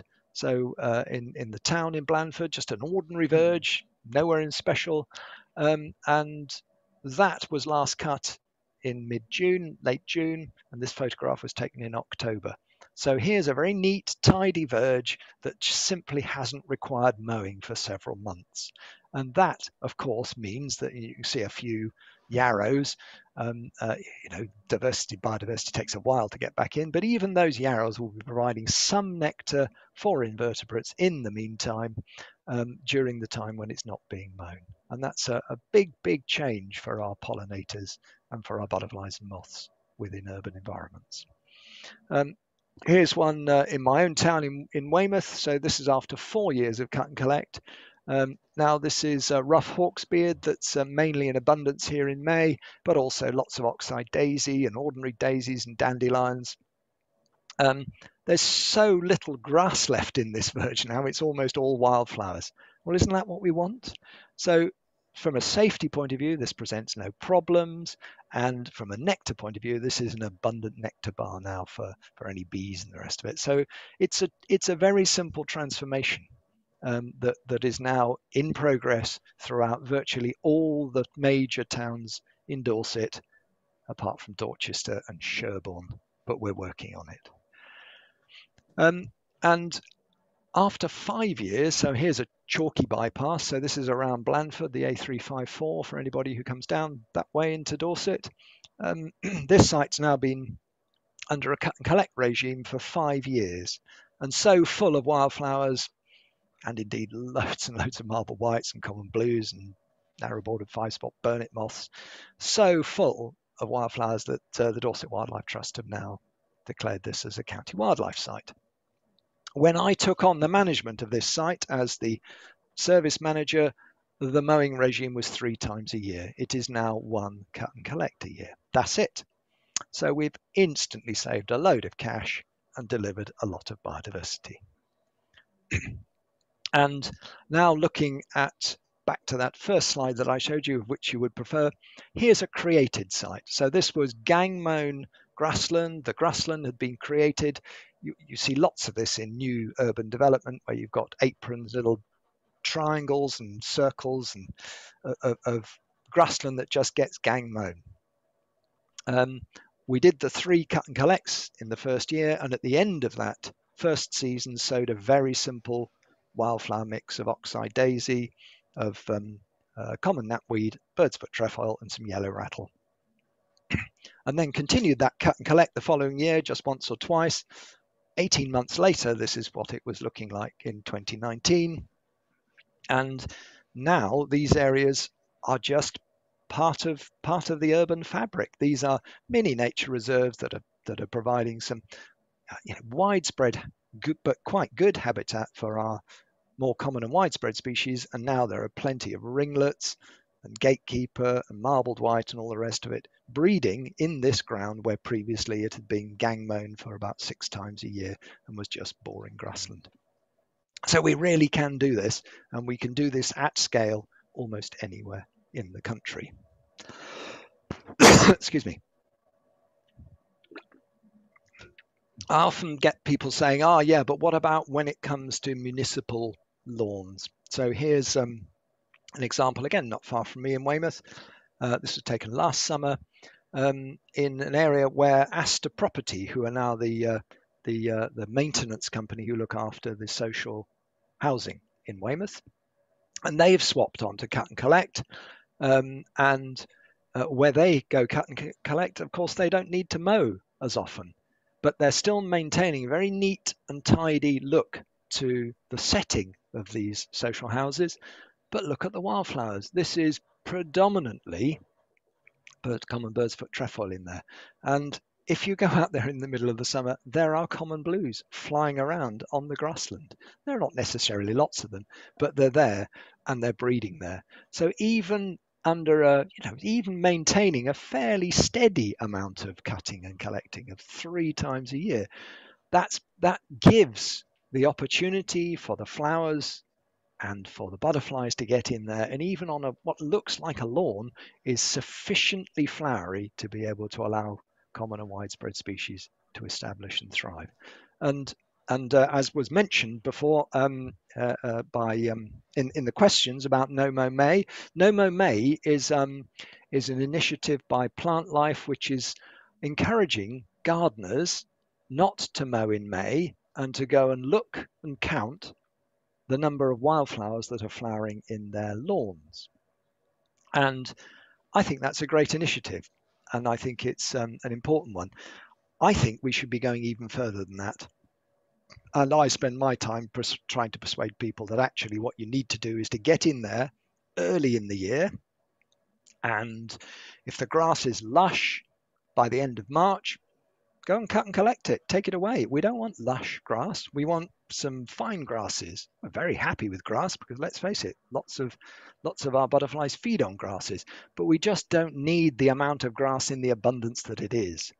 So go early in the year and take that cut away and then leave it May to August and then go and take another cut towards the end of it. And you'll be really surprised at just how many species of butterfly you will see within the garden. And obviously, not everybody wants to do that, but I am certainly a massive proponent of encouraging people to do that. So my view is, yeah, No Mow May, yeah, that's fine, but why not No Mow May to August?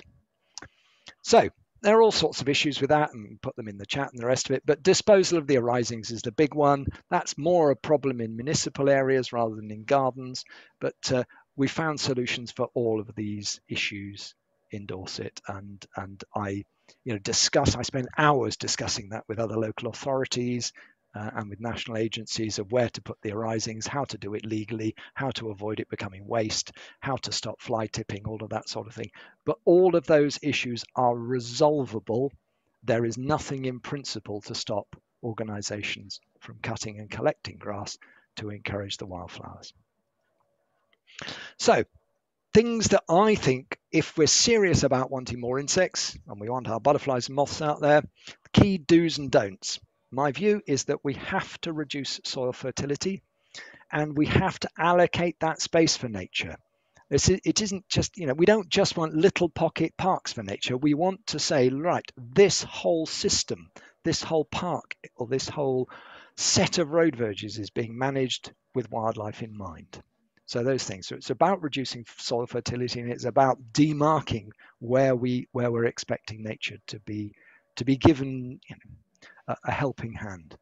The other thing that we, what I would hope that we can resist doing, if we possibly can, is actually just stop mowing, and and um, uh, that's a common campaign out there, and it's a lack of understanding, in my view, of the ecosystem that we're working with. Is if you encourage your local authority just to stop mowing as much, then the view that you see before you is sometimes what they end up with. Is that yes, you've got plenty of wildflowers in there. There's lots of creeping thistle, and there's some wild carrot and some yarrow, and some ragwort.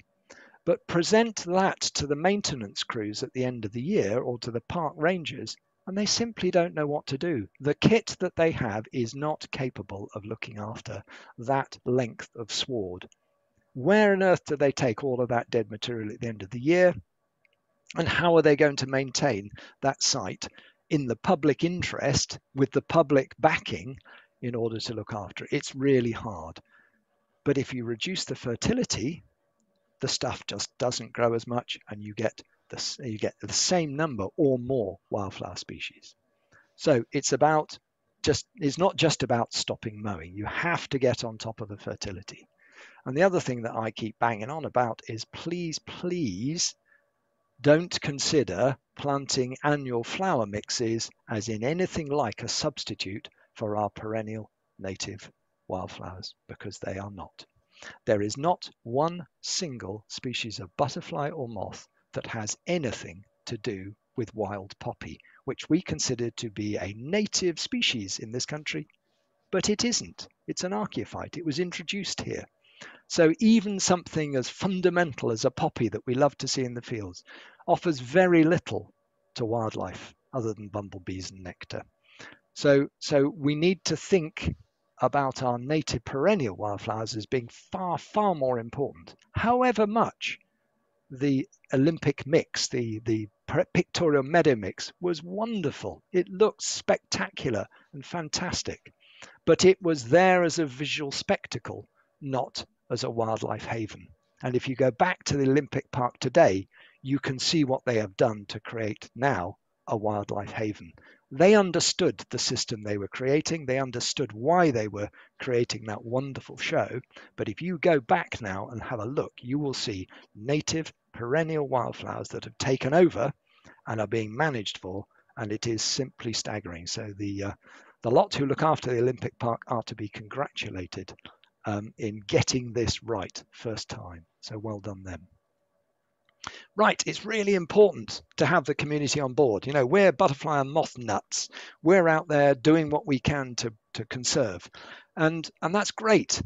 But but actually there are a whole lot of people there who don't either understand or aren't very willing and may look at the uh, view in this picture and say, gosh, that's a mess.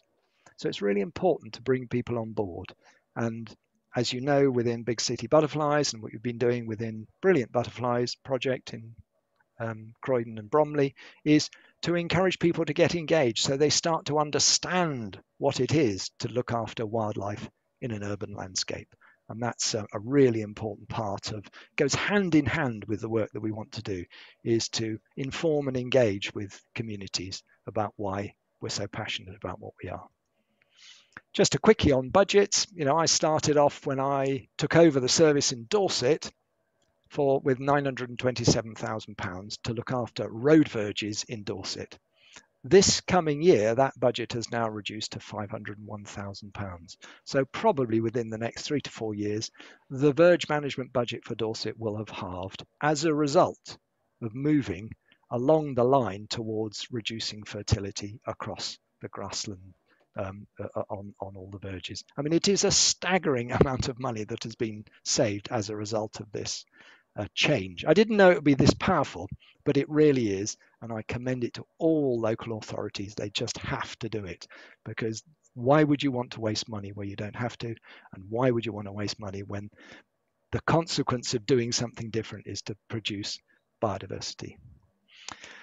Much of this is set out in um, the uh, Managing Grass and Road Verges Plantlife Guide, and uh, as well as that, there is now a new uh, Good Verge Guide that uh, Plantlife have produced. So if you go onto their website, both those documents are available.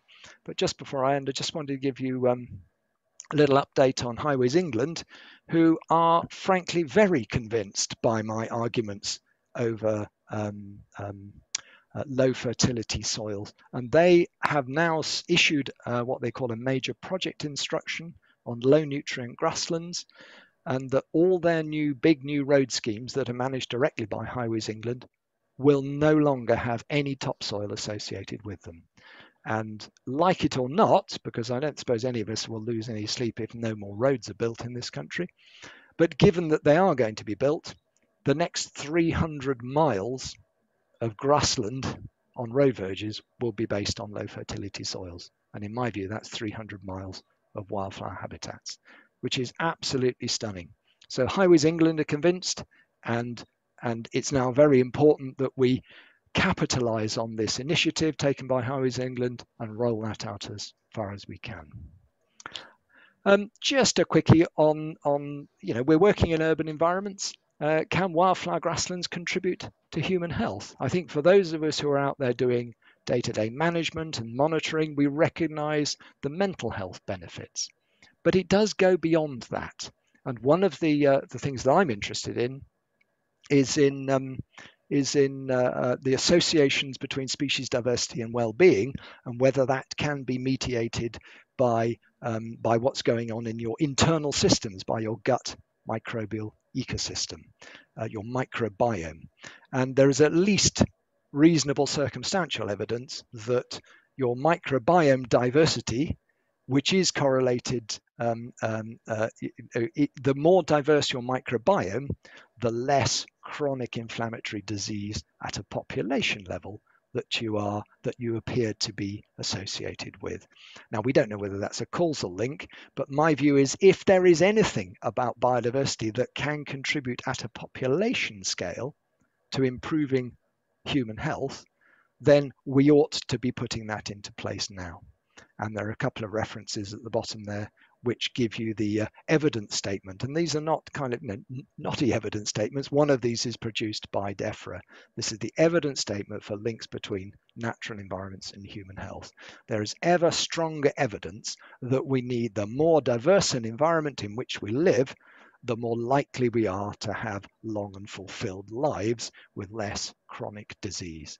And I think we would all say yes to that. So, conclusions.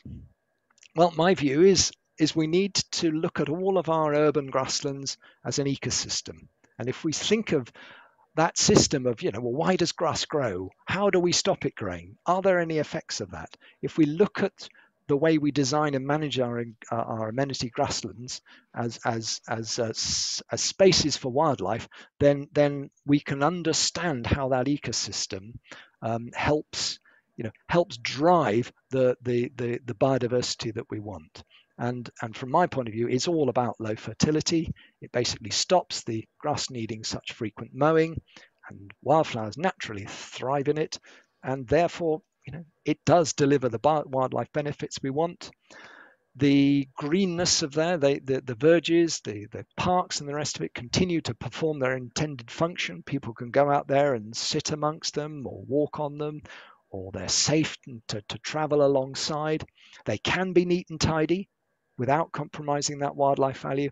And they are, frankly, demonstrably cheaper to look after, and in doing so, contribute to uh, reduction in, uh, in our greenhouse gas emissions, which we all want to see.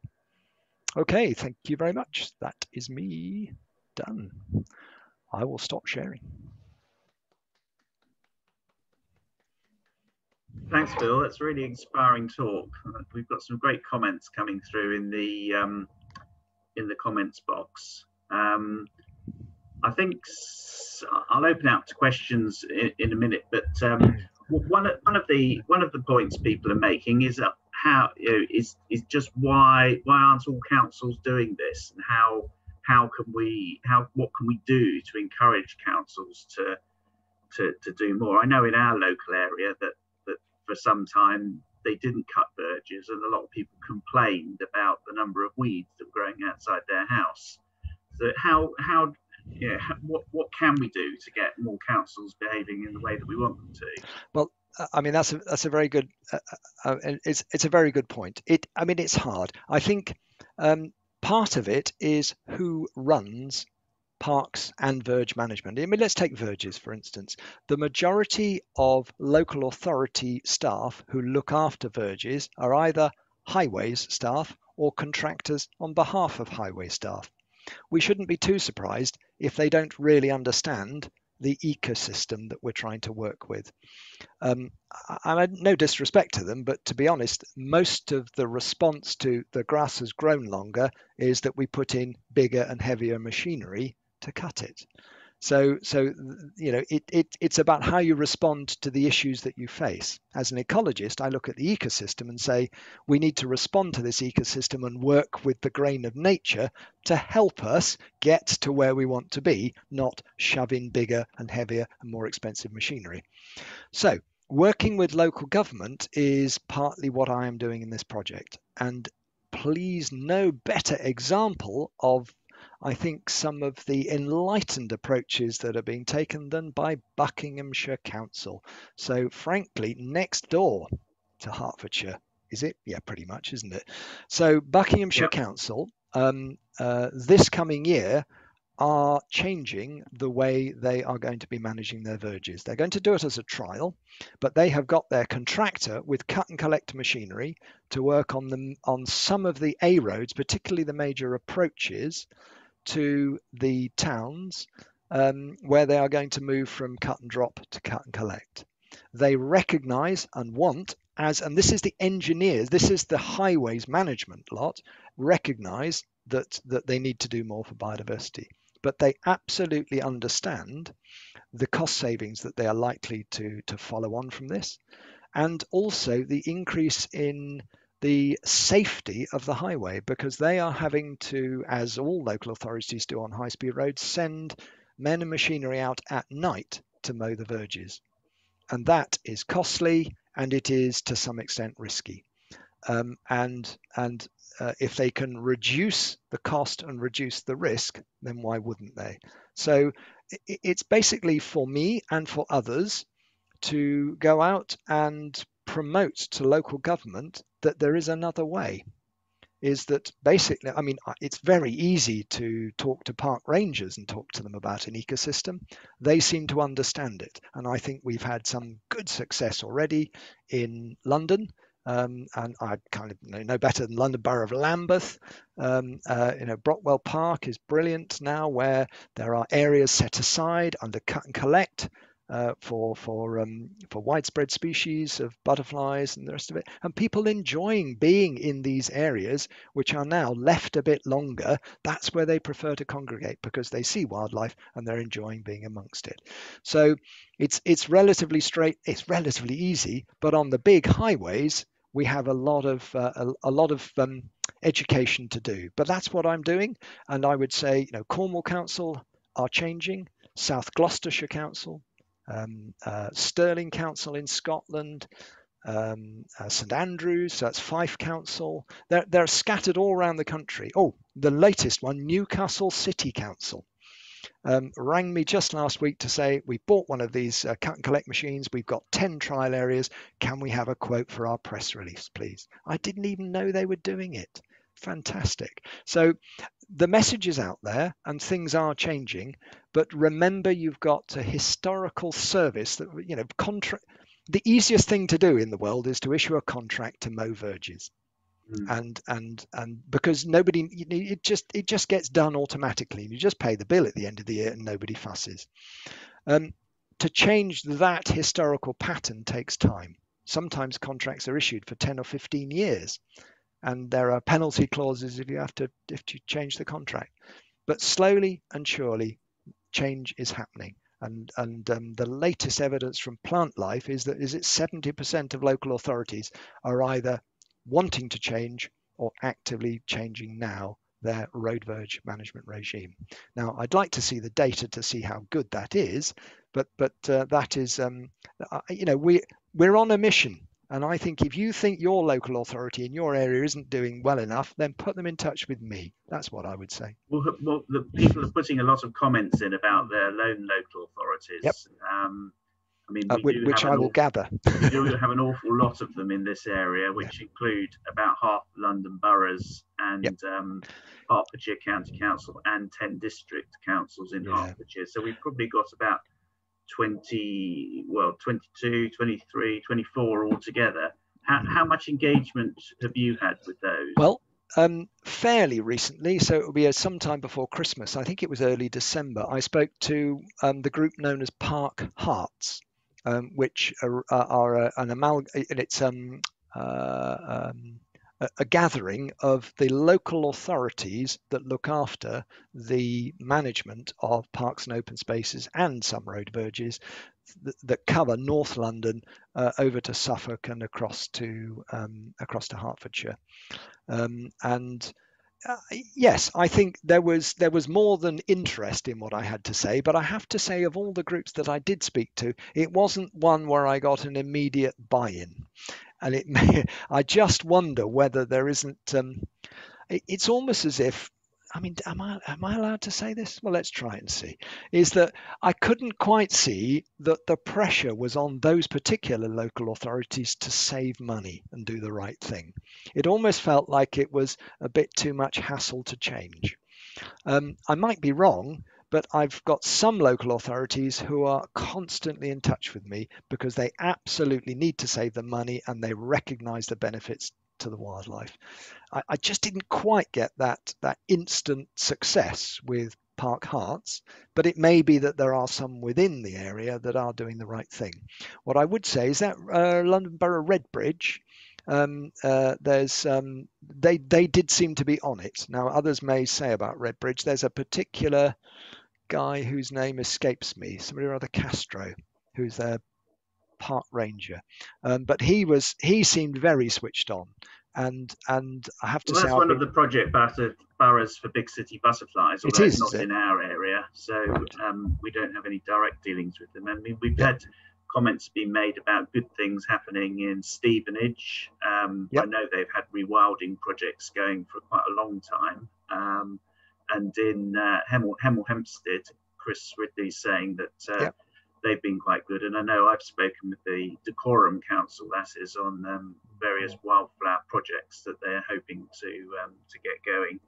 I know in, in St Albans, where I live, there, there's a huge pressure to cut cut funds at present, but they have recently um, allocated hundred thousand pounds to a Wilder St Albans project, which is uh, not cutting verges, is quite a key part of that, and they're employing a project officer um, who's in the process of being recruited at present to, to oversee that project. So it seems there's quite a lot going on. I mean, one, one from what you said, one of the things I wondered whether it, we're better off aiming at, at, um, at verges that aren't in built-up areas to start with.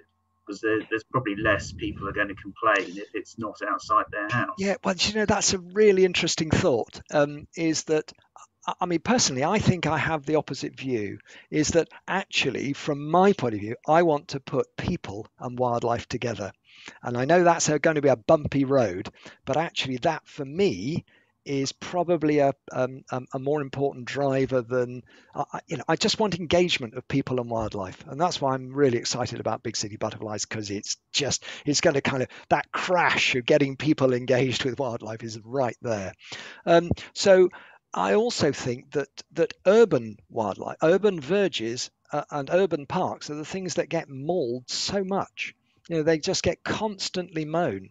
Um, where is it? It's in Hackney, London Borough of Hackney. Some of the grasslands in London Borough of Hackney are being mown 22 times a year. That's utterly outrageous. What an utter waste of money that is.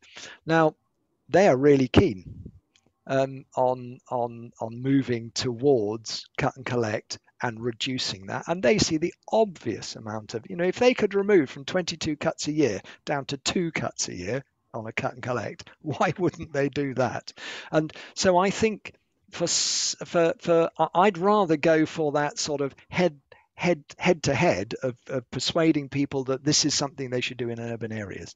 Mm. In rural areas, absolutely. I think if we can do it, and I'd point you to Lincolnshire, where in the Lincolnshire wolds, uh, those beautiful wide verges, um, which some of which were already pretty good for wildflowers, um, the, where those old drove roads where they used to drive the sheep down from the um, from the hills down into the plains.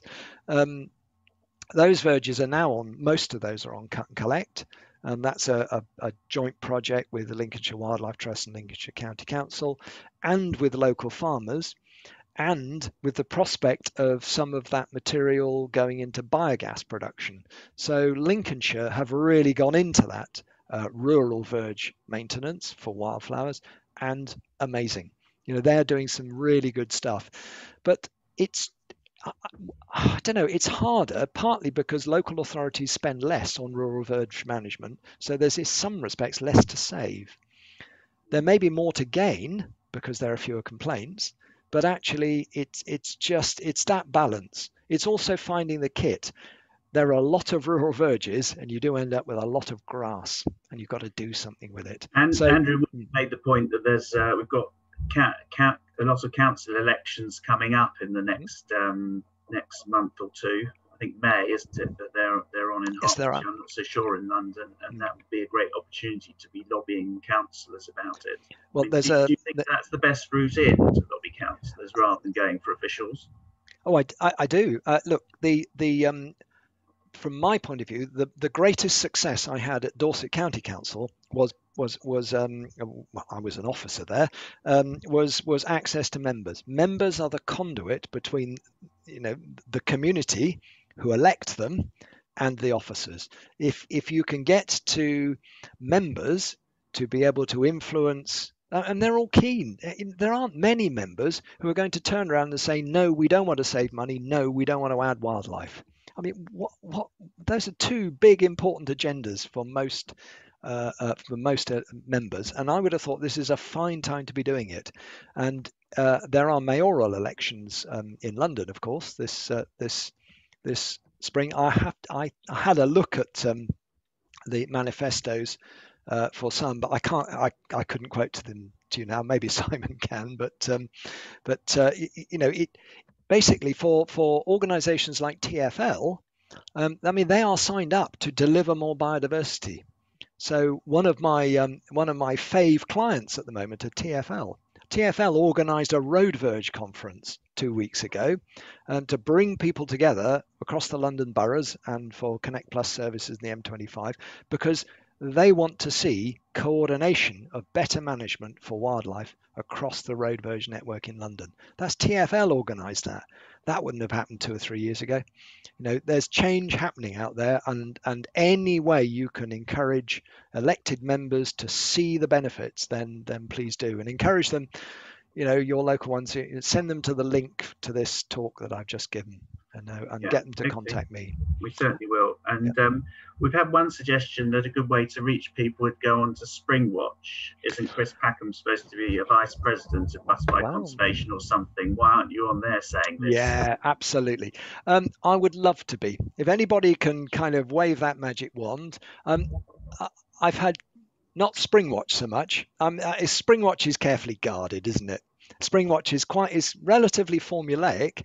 Um, I think they ought to be doing something on this, but uh, but they haven't I think yet. I managed to get on there last year without You too were much trouble. top And they, they phoned you up for a comment on what I was saying. Yeah, So they did, got your phone number. they have got my phone number. Look, I, I, they haven't done it yet. Um, the only other possibility was the one show, and I've had three attempts at getting on the one show. Now, some some people love the one show, some people don't. I just saw it as an opportunity, um, but it hasn't happened yet. But um, it may yet do.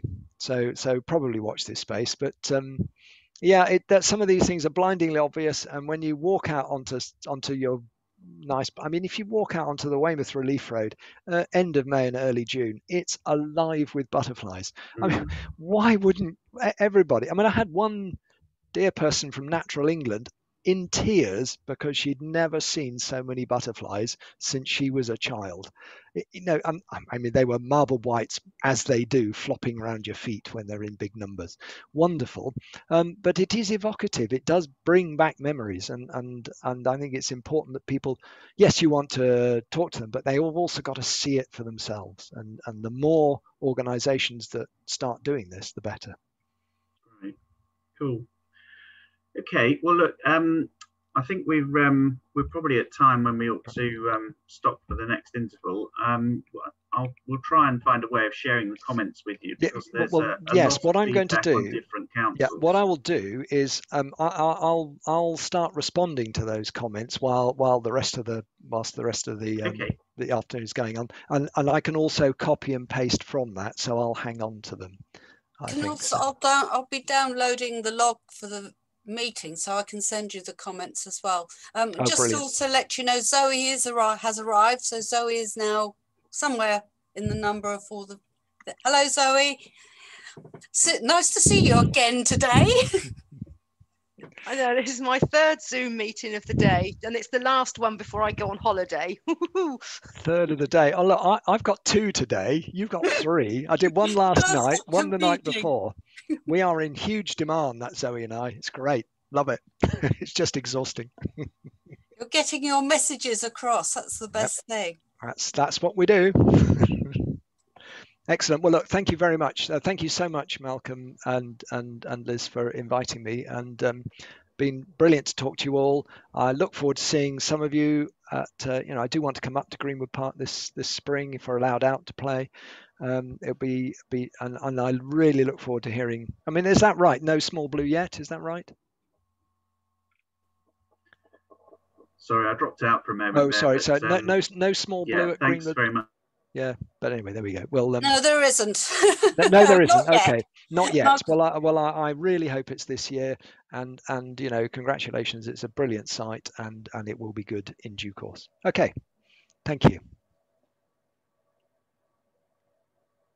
Right, it's just possible. Mark, oh no, Malcolm is just having a bit of trouble with his He is, connection. isn't I he? think. Um,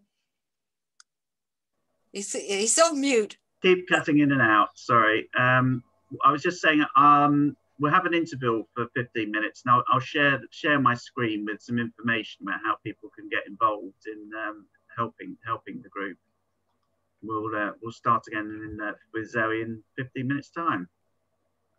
Remember that the uh, the voting for the photo competition will finish at uh, four o'clock, so this is your last chance.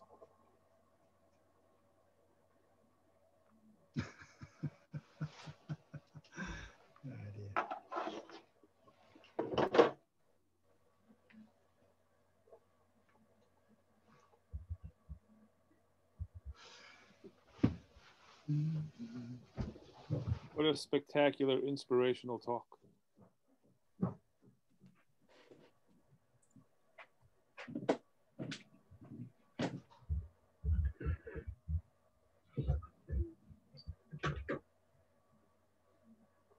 Absolutely, Brian. Absolutely. I love to be outside on sunny, warm spring days, but I'm so glad I stayed in and listened to this. It's really good, really good.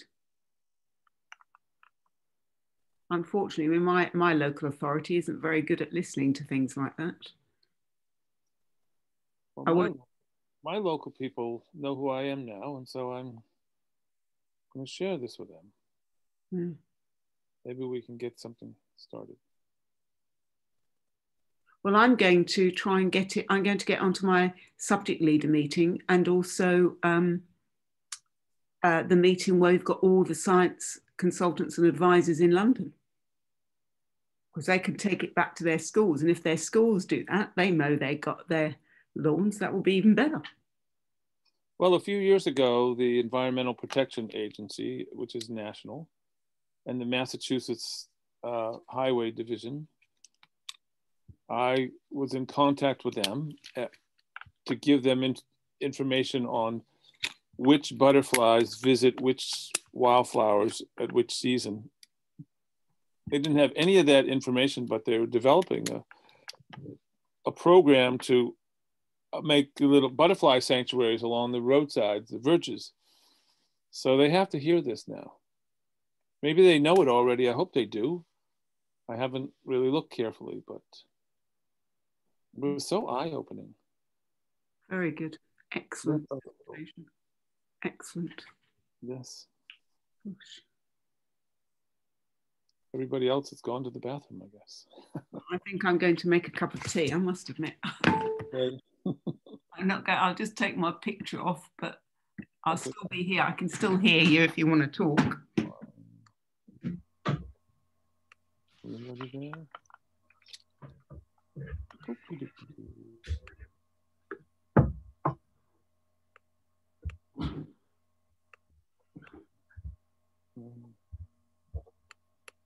It's all gone quiet. But, uh, I'll put up the um, That is not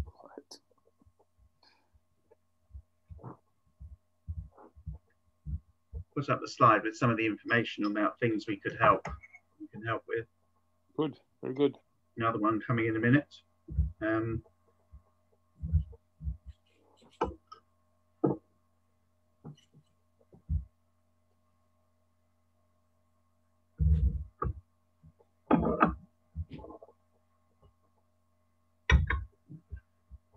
It's a great meeting so far, Malcolm.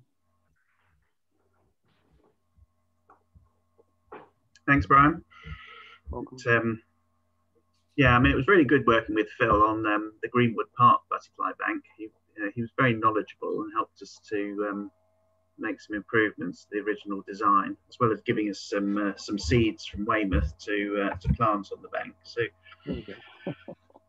I think, um, yeah, there's a there's a hell of a lot more we could do. It's the, the main thing is getting um, trying to get enough engagement with uh, with with the different councils. There are just so many of them, um, Yeah. and they tend not to respond particularly well to people writing that aren't in their actual area.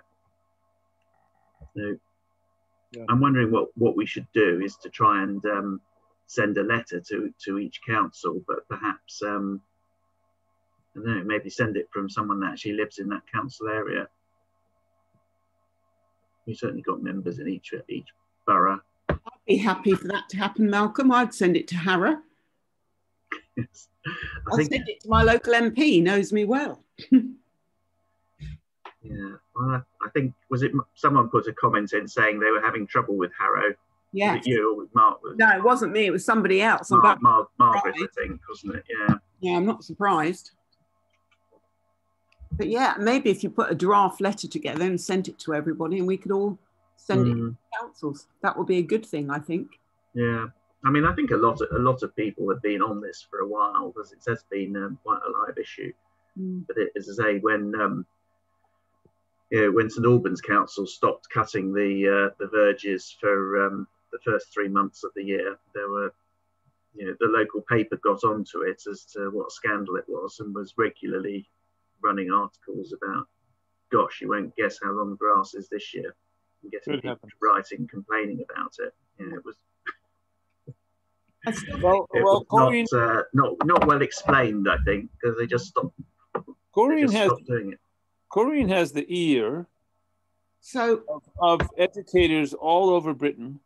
She she I told you this before, but she was the head of ASE, which has fifty five thousand members, teachers and educators, and perhaps they could get the word out through their students into their parents, you know, bailiwick, and get them in, interested in this project. A different group than the old white guys like us, a, a different group, you know, uh, not necessarily the taxpayers, but the, but there's a young girl in uh, in Norway who's made a giant difference in the world, and perhaps uh, 10 million students in England can make a difference if we got them involved somehow. It's a yeah, giant we're task. very, that's very much the centre of what we're doing with the Big City Butterflies Right, project, as, you, as right. we've explained. That that's um, that's aimed at getting into um, Right. you know, getting into schools and children and getting them to show a lot of interest in butterflies and wildflowers. So Yeah. we're putting a lot of effort, money, and effort into it. Yes. I know. It's excellent. Mm. I think what we need to what we need to do is try and find a way to engage with um, engage with um, schools generally. That's you know that's something which we we've not been great at as a group. I'll move I'll move the slide on to the to the next one now as well. Always you can help. Yeah, actually, Michael, um, uh, Malcolm, sorry. Um, I could certainly get this on the agenda for all the science advisors and consultants that work in London. hmm And that would help because they have access then to the teachers who then have access to the children. Yeah, well, that would be really helpful. Um, I mean, I think I don't know whether whether Phil has prepared materials that are specifically aimed at, at schools, but I can I can ask him. I don't know if he's still on the call or not. I don't think you need to. I think I think um, if he if um, talking about you know just not cutting the grass, schools cut their grass, and that's the caretaker does that Mm. regularly, and you can get them to do things like that. Young children are very interested in growing things and seeing wildlife, so you could start in that way. Yeah, I mean, we, we worked closely with the, the local school at Greenwood Park and got the children to um, to grow things and brought them out and showed them the, the plants on the on the butterfly bank as well. It, it did attract a lot of interest. Um, but we, in that case, we had a, a, staff group that was very engaged and very keen themselves. I, I think it probably, you know, it, it, it's there's all sorts of reasons which make it difficult for us to deal with children unless we've got sort of the staff on board as well. Well, if you if you if they talk to the people who advise and support the teachers, which is this group, then that would be quite a useful Mm. thing to do because you'll get an uptake. I Yeah. mean, I've done that before. They, they've done, you know, big bug hunt is phenomenal. Um, you know, growing seeds that were taken to space, low thousands of schools. So there are ways of doing it. Yeah. Okay. Well, do you want to? Can you drop me an email or something afterwards? So I've got your contact details, and then we'll um we can see what we can do about it. Yes, I will. Got you right in the middle, Corinne. Thank you. Welcome. you both make things happen, so this is very good. Both of you. Excellent. Well, this guy, Phil, is really uh, quite a treasure. Yeah, I mean he's an he's an incredibly knowledgeable um, lepidopterist as well. I, I skated over his authorships, but I mean he's he's written um, a, or joint author of a leading text on book on micromoths, covering you know, all the UK species, um, as well as another text on caterpillars, which is equally authoritative. So you know he really is at, at the top of his game as an entomologist, as well as a as being very very good advocate for um, wildflowers on verges. Yeah, his knowledge of moths is exceptional as well. So, um, you know, he is ama- quite amazing. So it's very, very difficult anywhere in the world to find a very good scientist who can speak very well for wildlife and is is comfortable doing so. That's male or female. That's an extraordinary combination to have. Yeah. Well, we've um, we found one. Um, So um, hopefully, in another couple of minutes, we'll find another one. Yeah, yeah. There we go. That's right. So my favorite, but my favorite English butterfly book is the is the cen, uh, the centennial uh, the millennial atlas. I love that. I learned so much about British butterflies from looking at that book. It's amazing. So this is about the next atlas, right? So it's about this one. There we go. There we go. That, that's it. That's right. Fantastic. Where's my copy? See, I got it. Right there. There it is. Oh yeah. Yeah, yeah. Right next to Migration of Butterflies by Williams. Looks I- like there's space in there to squeeze in a moth atlas as well. Uh, yeah, there is. There is. Uh, you know, I was just, I, I uh, have a friend named Tom Murray. I live in Massachusetts, and I have a friend named Tom Murray. And he's a wonderful. guy. He delivers truck parts for a living, but his passion is uh, backyard wildlife, and he has a web, a photographic website that more than 30 million hits on, Wow. and he's seen over 1,600 species of moths in his yard, and photographed and shared. And it's he's amazing guy, quiet, the quietest guy. He's as quiet as a moth, but he he, he just found a new moth last night in his yard. He always, he always tells me when he does. And he's, he's a fantastic authority, but you know, he's one of the few people I know that when you write to him, email, he answers you. And he invites me to his house, and I go up and look at the moths. Okay. Yes, So, sorry. I'm gonna I go. think we're um, running over into next session, Brian. So um, if um, if we could um, maybe just um, hold that for a bit later. Um, so um, photographic competition has now ended. Um, the votes will be counted, and uh, we'll announce the outcome at the end of uh, end of this session.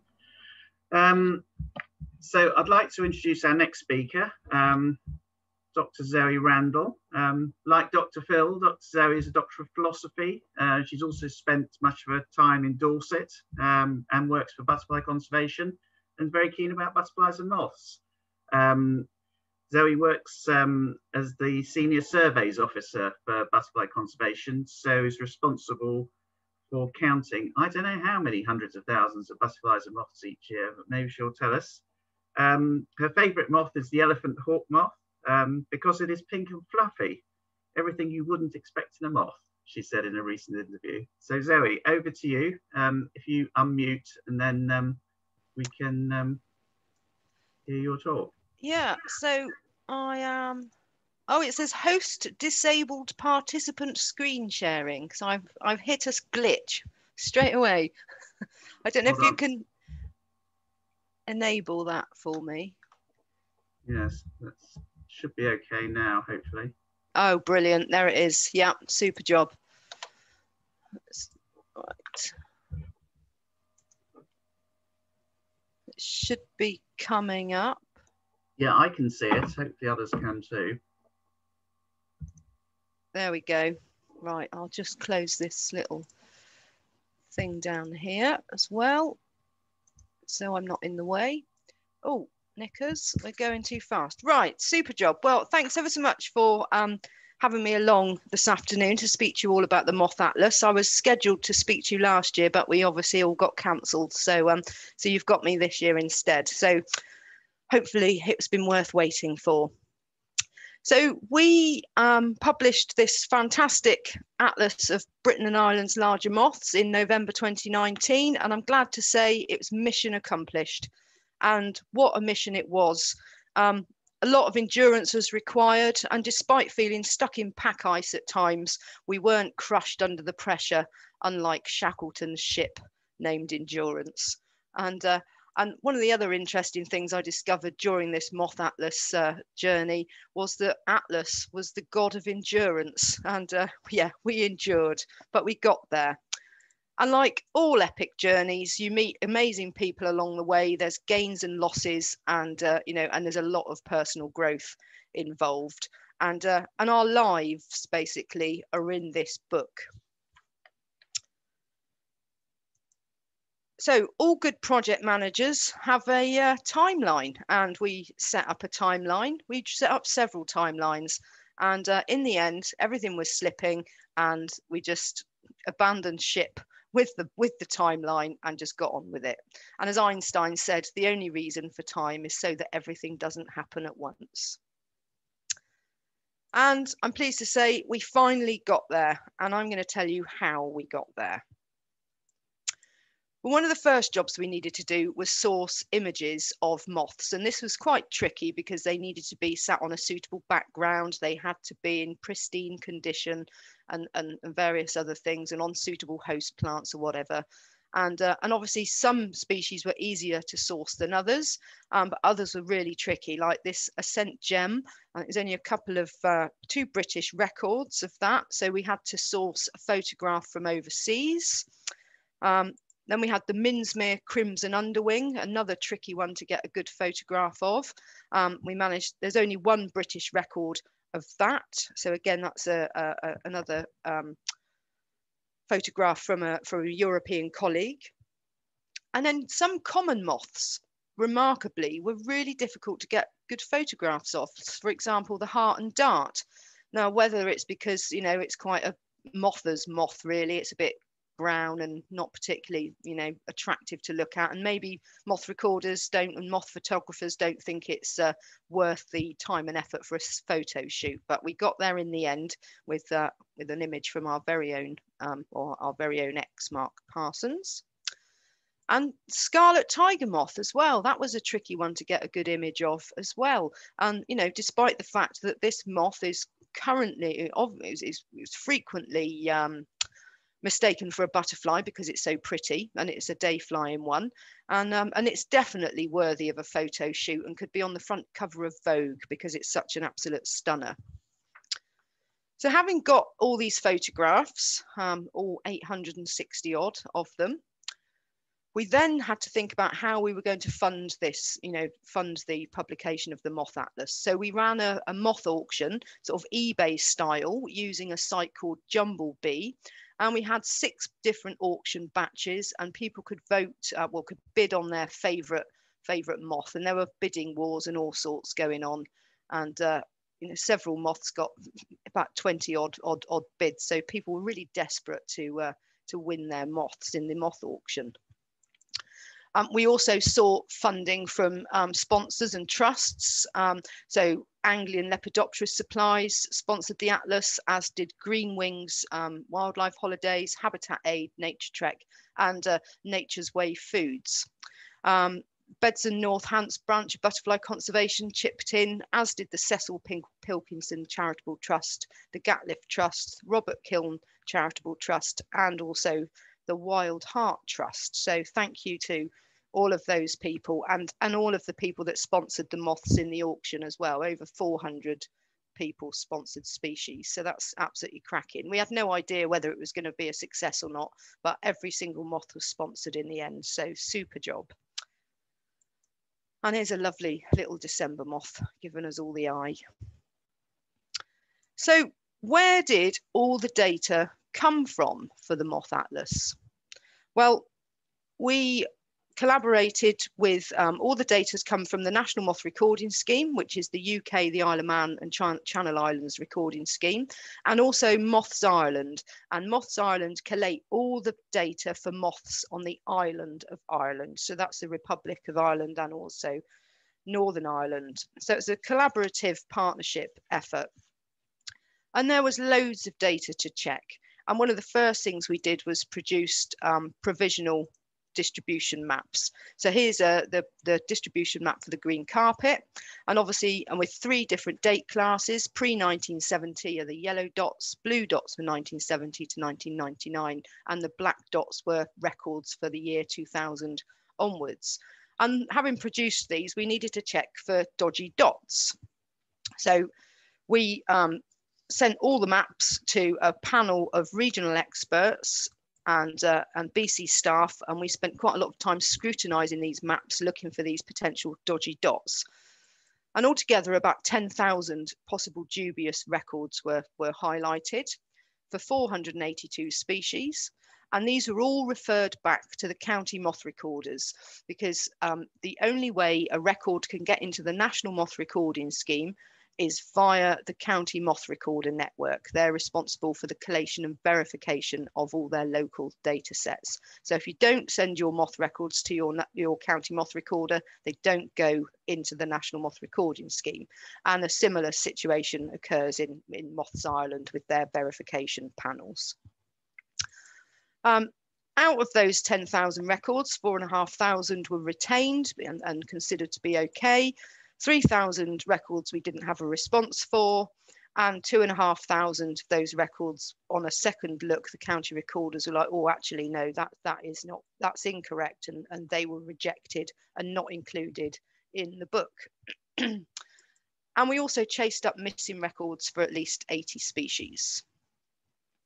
So having done that and uh, checked for dodgy dots, we then had to look for potentially dodgy dates. So this chart here shows the proportion of all um, records for the lime hawk moth in two different date periods. So 1970 to 1979 are sort of the purpley, purpley grey bars, and the more recent um, records are in the black of black bars, 2000 to 2016. And what you can see here is you can see, you know, a clear pattern here, but what on earth are these up here? And what on earth are those up down there? So this added a second level of verification and any records that fell outside of the sort of, you know, flight period, they were scrutinized again. So what did we find there? Well, we had about 12, this highlighted about 12,000 records for 587 species. Um, some of the issues were due to Excel, um, Excel date formatting issues, and also the 1905 serial number, which it, for whatever reason, it, it puts in 1905 as a year um, from time to time for, for it, whatever reason. And obviously, like I said, the American date format as well was, was, was a problem. And these issues um, were, these were, these two issues affected about 4,000 records. There were also life stage and sampling method mismatches. Um, 6,000 of these um, potentially dodgy records had that and over half of those has the had the adult life stage as BREDX. So for example, in this uh, table below here, you can see we've got a Welsh clearwing on the 8th of September 2002. It's one count of adult, but actually when you look, it was a cocoon. So um, that adult in there is, is, is incorrect. And again, this December moth here, 30 count of adult, but they were BREDX. So what really should have, that record should have cons consisted of was um, either eggs, you know, either been an egg record or a larval record caterpillar rather than 30 count of adult. So anyway, so we sorted all that out. So that was uh, that was good. Um, but I mean, when we put this, it sounds like an awful lot of records to have to double check, um, which it was. But let's get some perspective on this and um, 12,000 out of 25 million moth records um, equates to a 0.05% error rate. So that was with the dates. And then 10,000 out of 25 million records was 0.04% of those records um, were distribution potential, you know, were distribution errors. But if we tot all this up, it only equates to uh, 0.09%, which is only 0.01% more errors than pesky species of clothes moths. And this is perhaps my favourite uh, uh, equation ever, a very simple one, because there's only two out of two and a half thousand species of moths which can actually really damage your clothes and your carpets and such like. Anyway, so having ironed out all these uh, all the dirty data. We had a clean data set which we could then use to produce the final distribution maps. And as I've said, we uh, worked in partnership with Moths Ireland and the atlas was published by Nature Bureau in on the 22nd of November 2019. crikey, it seems so long ago now, and uh, but it just completely engulfed our lives for a long time. So what does the moth atlas feature? Well, 893 macro moth species, 867 of those um, have species that have got a, um, a species account with them. And then we've got 26 species in the appendix. So they are, um, they are moths that have not been recorded in um, Britain or Ireland prior to, uh, not, not recorded since uh, 1970.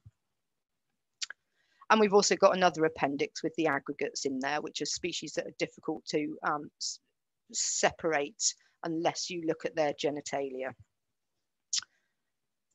So, so this is what a species account looks like. Um, so on the right here, you've got the distribution map. I'm just going to see if I can get a pointer up here. Hang on a minute. Pointer options. There we go. Super. So we've got our distribution map with our three different date classes. Um, these figures here tell you the number of 10 kilometre squares the species was recorded in for each of the date, different date um, periods. And then we've got the similar um, rundown here for Ireland as well, the Irish records. Um, you've got the Great Britain distribution trend, long-term trend, the short-term distribution trend, the abundance trend, and also the GB red list status and the Irish red list status and a bit of blurb about the about the species itself. Uh, space was at a premium. We only had room for something like 362 characters, including spaces, and we felt and we we kept the text minimal. A because we didn't have much space, but also because a lot of that information can be found in all the fantastic field guides that are out there. So we want to focus on like the novel information. Obviously, we've got the cracking photographs. Um, for each species and a flight period as well, which shows the species phenology um, in the two different uh, date periods. And for some species as well, we we did um stiff we did what we we made what we called um, splattergrams, and they show um, the species flight period in relation to um, uh, latitude as well. So because some species are becoming more double brooded as, as you know further north and such like. So depending on what the what chart looked more interesting, told a better tale, determined which chart we'd use. Um, so as I said, we've got there we have we've got the distribution map, and then last but not least, down in the bottom right hand corner, anybody that sponsored a moth for the Moth Atlas got to have a little personal dedication put in there, and some of them were absolutely you know lovely. They're tributes to loved one you know loved ones that have moved on and and such like. So um, so it adds a real sort of personal touch for for people. So come on. Oh, I need to press that one. So how is it looking then in terms of recording intensity um, or over time? So the chart up here shows the number of records um, in the National Moth Recording Scheme by year. And you can see from about to the year 2000, numbers just go up and up and up and up. Um, looking at the percentage of records for the three different date periods, you can see that nearly three quarters of records, again, are from the modern period 2000 to 2016 and obviously these two chaps here they their their records would go probably in the pre 1970s and did those guys ever think that the records those moth records that they were making and collecting back then would end up in this book? So these two are uh, utter trailblazers. And i'm glad to say that mothing attire has uh, moved on and modernized as has the uh, technology of the trap types used. Oh, come on. So let's now look then. Um, this, this map here shows recording intensity at 10 kilometre square resolution from 2000 to 2016. 18.7 million records are from this time period. And basically the, the uh, map showed the darker, the darker the colour, the greater, um, the greater number of records per 10 kilometre square. And uh, SV91 in the Isles of Scilly had 184,907 records. And uh, so that was the, the highest number for sort of the UK. And T29 in County Wicklow had almost 45,000 records. I do believe that's where the uh, the county recorder was, uh, the county or the head, the, the guy that was running Moths Ireland was living at the time. So uh,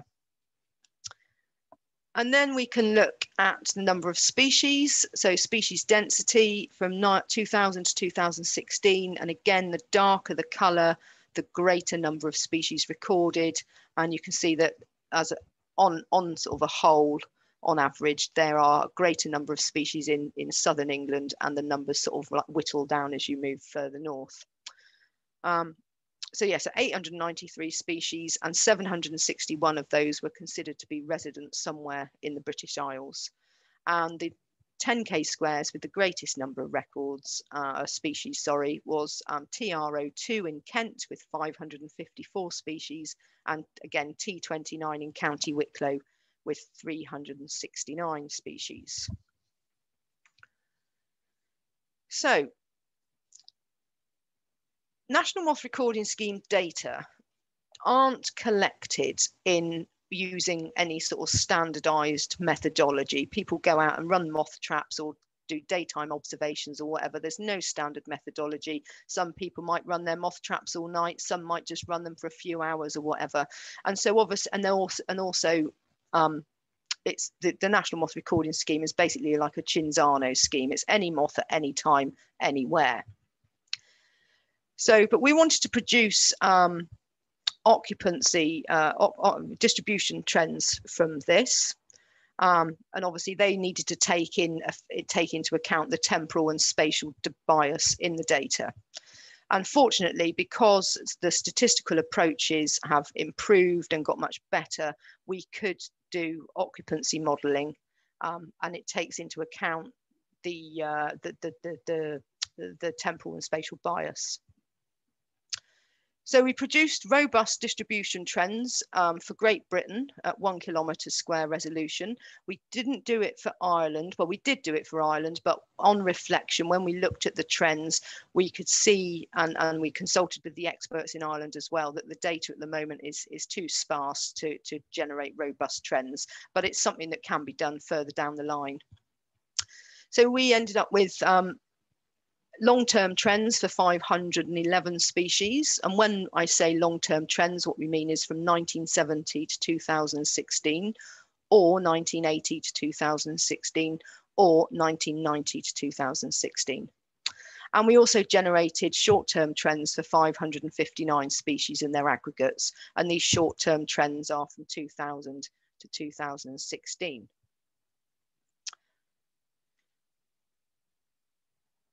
So we took the standardized long-term trend from 1970 to, uh, you know, to look at the data. And, and for, for that 47 year period, what we found is that 390 species had sufficient data and 42% of these had declined in distribution, whereas 58% had increased in distribution. And the biggest loser in terms of distribution was the white colon that has declined by 94, 94%. And the biggest winner was the red green carpet, which had increased its distribution by 667%. So, and then what we can do, so this chart here, this shows that same data again, but it also shows significant decline. So the chart, we've got the number of species on the y-axis. I don't know why that's going all wobbly. And the, and, and the percentage change in the distribution along the x-axis. So overall, we've got 42% of species declining, 58% of species increasing. But when you actually look at significant declines, 31% of these declines were statistically significant. And these are the darker pink areas. Um, and 38% of species um, showed significant increases, and these are the darker blue bars on the chart here. And 31% um, showed no change. So let's just look at a couple of these, take a couple of examples. So here we've got the uh, Jersey tiger moth, um, which once upon a time was just found down in, in, in the southwest in Devon. Um, it didn't go anywhere for years and years. Um, it is yeah and and but since 1990 it has expanded its uh, its distribution has increased by 861 percent and you can see these black dots these 2000 onwards records popping up all over the show and you know all around the london area and they're spreading north of the thames now into into hertfordshire and middlesex and and we've got a few dotted around up here as well. So this is a species, keep your eyes peeled, masses of reports of this moth last year and um, you know loads of members of the public saw this this moth so it's it's it's on the move and spreading out um, same can't be said for the lovely lappet though. I've never seen one of these moths actually. Um, this one has declined by 61% in distribution since 1980 um, and again, you can see that these old historical records, the yellow and the blue dots, lots of places around here where there are no recent records, no black dots overlying these older ones. So um, yeah, it's all a bit, little bit um, depressing for, for that particular lovely moth. So that's distribution. Um, we also wanted to look at abundance and generate abundance trends. Um, but obviously we needed to do this using standardized trapping methodology so the data were comparable. So we used data from the Rothamsted Insect Survey. Um, they run a network of light traps across the UK and they've been running for, uh, for I don't know how long, quite a long time. Um, and what we did is we produced robust abundance trends for Great Britain. Again, we couldn't include Ireland because um, there aren't enough Rothamsted traps in Ireland. Um, but what we did do is manage to uh, get these generalized abundance indexes or guys for 427 macromoth species. And what do these show? Well, again, taking that 47 year period from 1970 to 2016, we got trends for 397 species, 62% of which had declined in abundance and 38% had increased in abundance. And the biggest loser, unfortunately, was the stout dart. Um, the last British record for this moth was in Norfolk in 2007. So it's effectively, we think it's gone extinct right under our noses. Um, whereas in contrast, um, you've got the buff footman, which was the biggest winner in terms of, of uh, abundance uh, increase, a whopping 84,589% increase in the buff footman. So and this just basically shows this again another chart here. So 62% of species overall declining 38% increasing in abundance. And we've got the darker pink shows the significant trends. So 34% of those 136 species which were declining were declining. The, the, the change was statistically significant. That's really difficult to say that.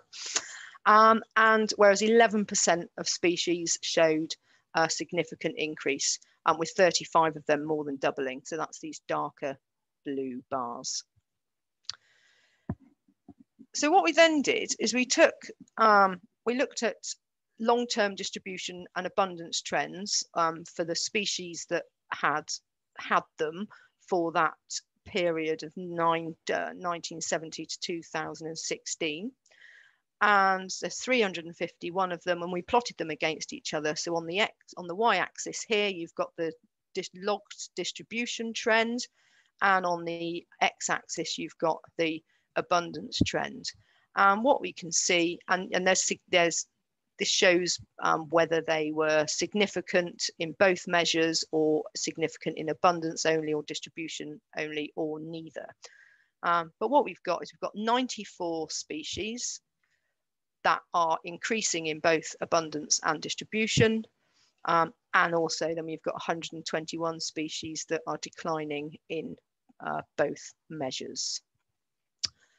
So it's going to be really interesting to delve a little bit deeper when we've got five minutes into this to look at what, you know, the actual species that are associated with these dots on here and see if we can you know pull out any conclusions um, looking at the uh, Lepidoptera traits database as well to see you know what if, if certain species in certain habitats or species um, with certain life you know, overwintering stages or whatever so that's going to be fascinating to look at further down the line.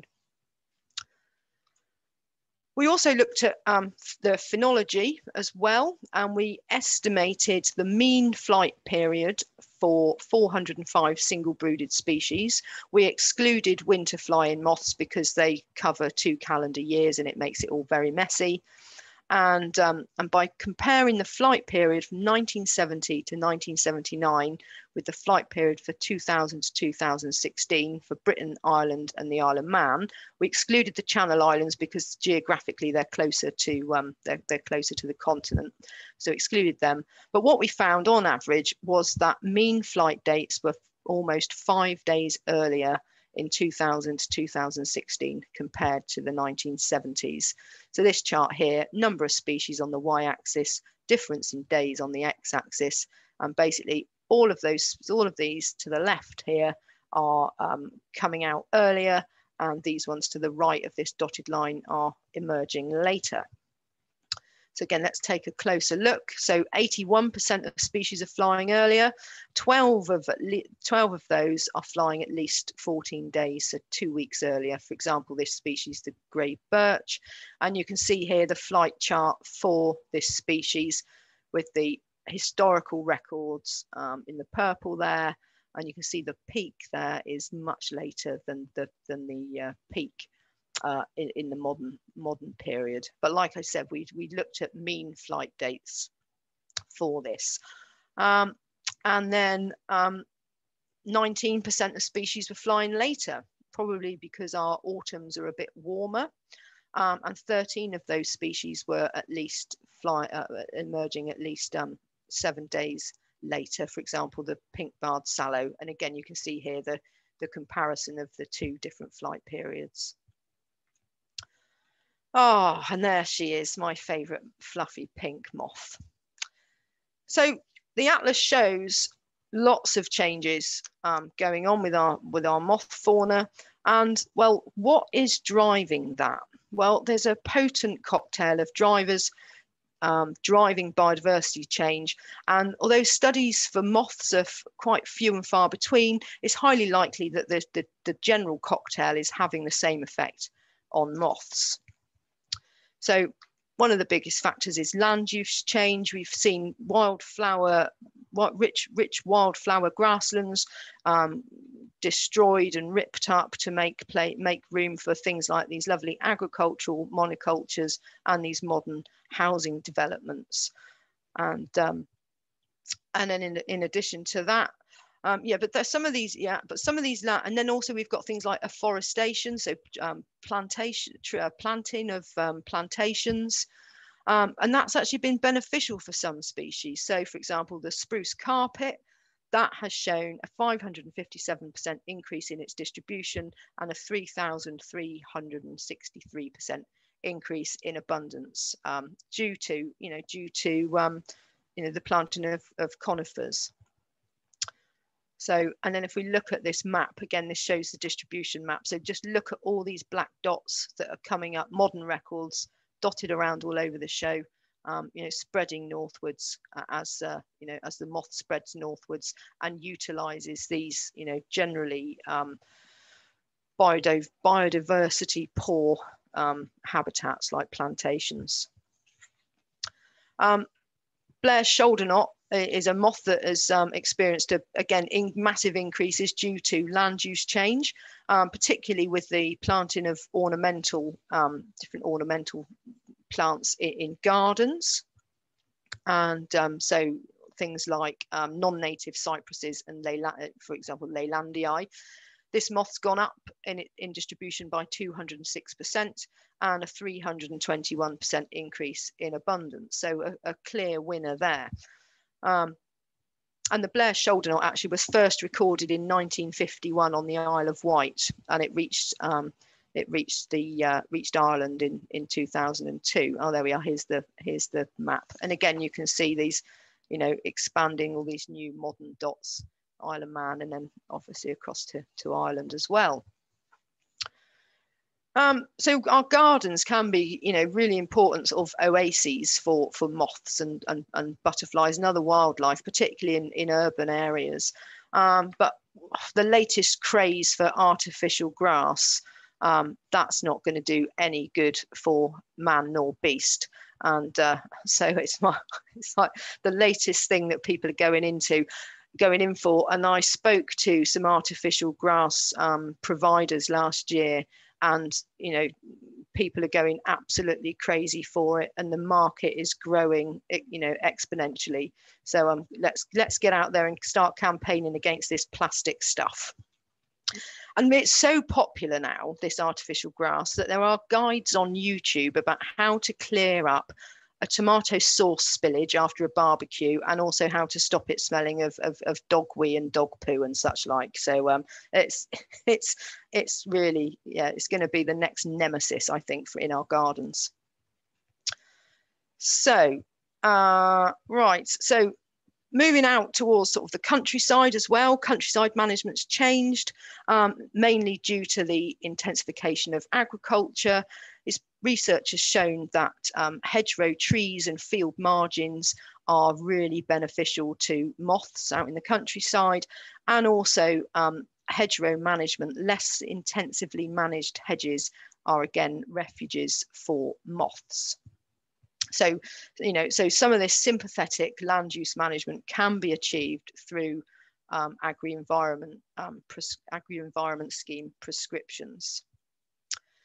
Changing management doesn't just apply to the machinery on the land. You've also got things like live um, stocking density. So we all know that sheep will remove everything and they nibble everything within an inch of its life. And they're quite often in high, high, high density flocks. Um, whereas um, lower intensity grazing with cows, for example, supports more moths. So none of these things are really insurmountable. We just need the political and public will to you know, make these changes and make things happen and improve things for our Lepidoptera. Another issue is, is nitrogen pollution. Um, you might think that it's just a rural issue with farmers spreading loads of nitrogen fertilizer on the land, but it's not. It's also an urban issue um, because of all the um, you know, combustion of, of, of, fossil fuels in vehicles and, and such like.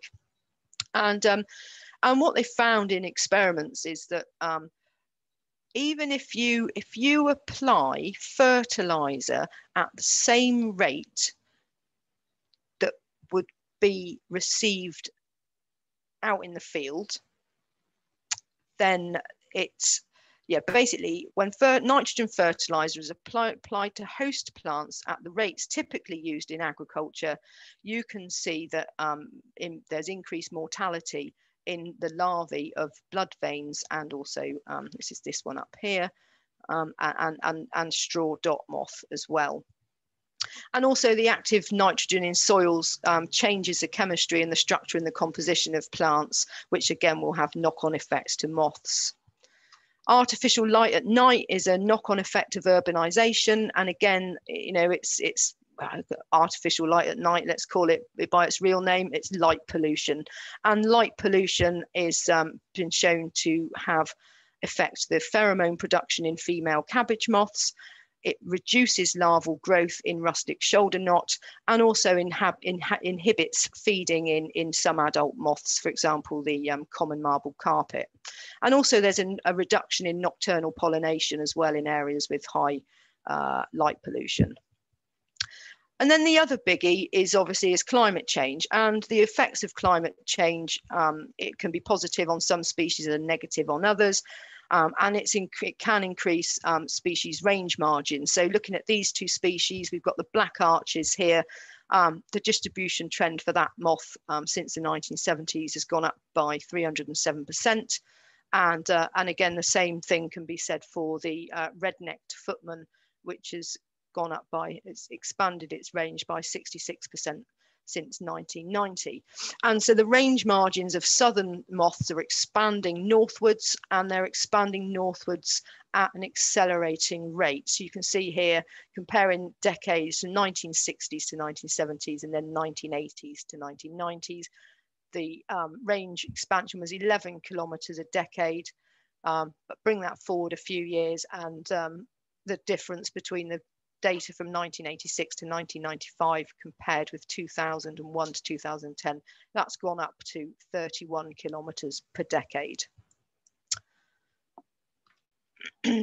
um, there was uh, a climate risk uh, assessment was was done relatively recently, and it showed that there will be net gains for um, many many species, but there are time lags due to habitat availability. So it doesn't really matter if the climate warms up and you think, oh yeah, I'm, I'm a moth and oh, oh, it's a bit warmer up north, I can spread up north. Well, you can't really spread up north if there's no available habitat. So that's, that's you know, the, the limiting factor. Um, and climate change has also been shown to affect species phenology as well. So if we look at this moth here, the flame shoulder, um, the abundance trend of that moth uh, has gone up by 65%. And on the right here, you've got the flight chart for that moth. So again, the purple is the 1970s data and the black bars the 1980s data. And you can see here that the moth appears to be emerging earlier now, and it also looks to be becoming more double, more, more um, double brooded than it was in the 1970s. So again, and that has that has knock-on effects and, and implications as well. So are we heading towards insect Armageddon? Does do the moth atlas results show that that's where we're going? Well, in a nutshell, no, because we've got many more species that are increasing than are than are decreasing. But that's not to say that we need to sit on our laurels and think everything's okay, because clearly it isn't.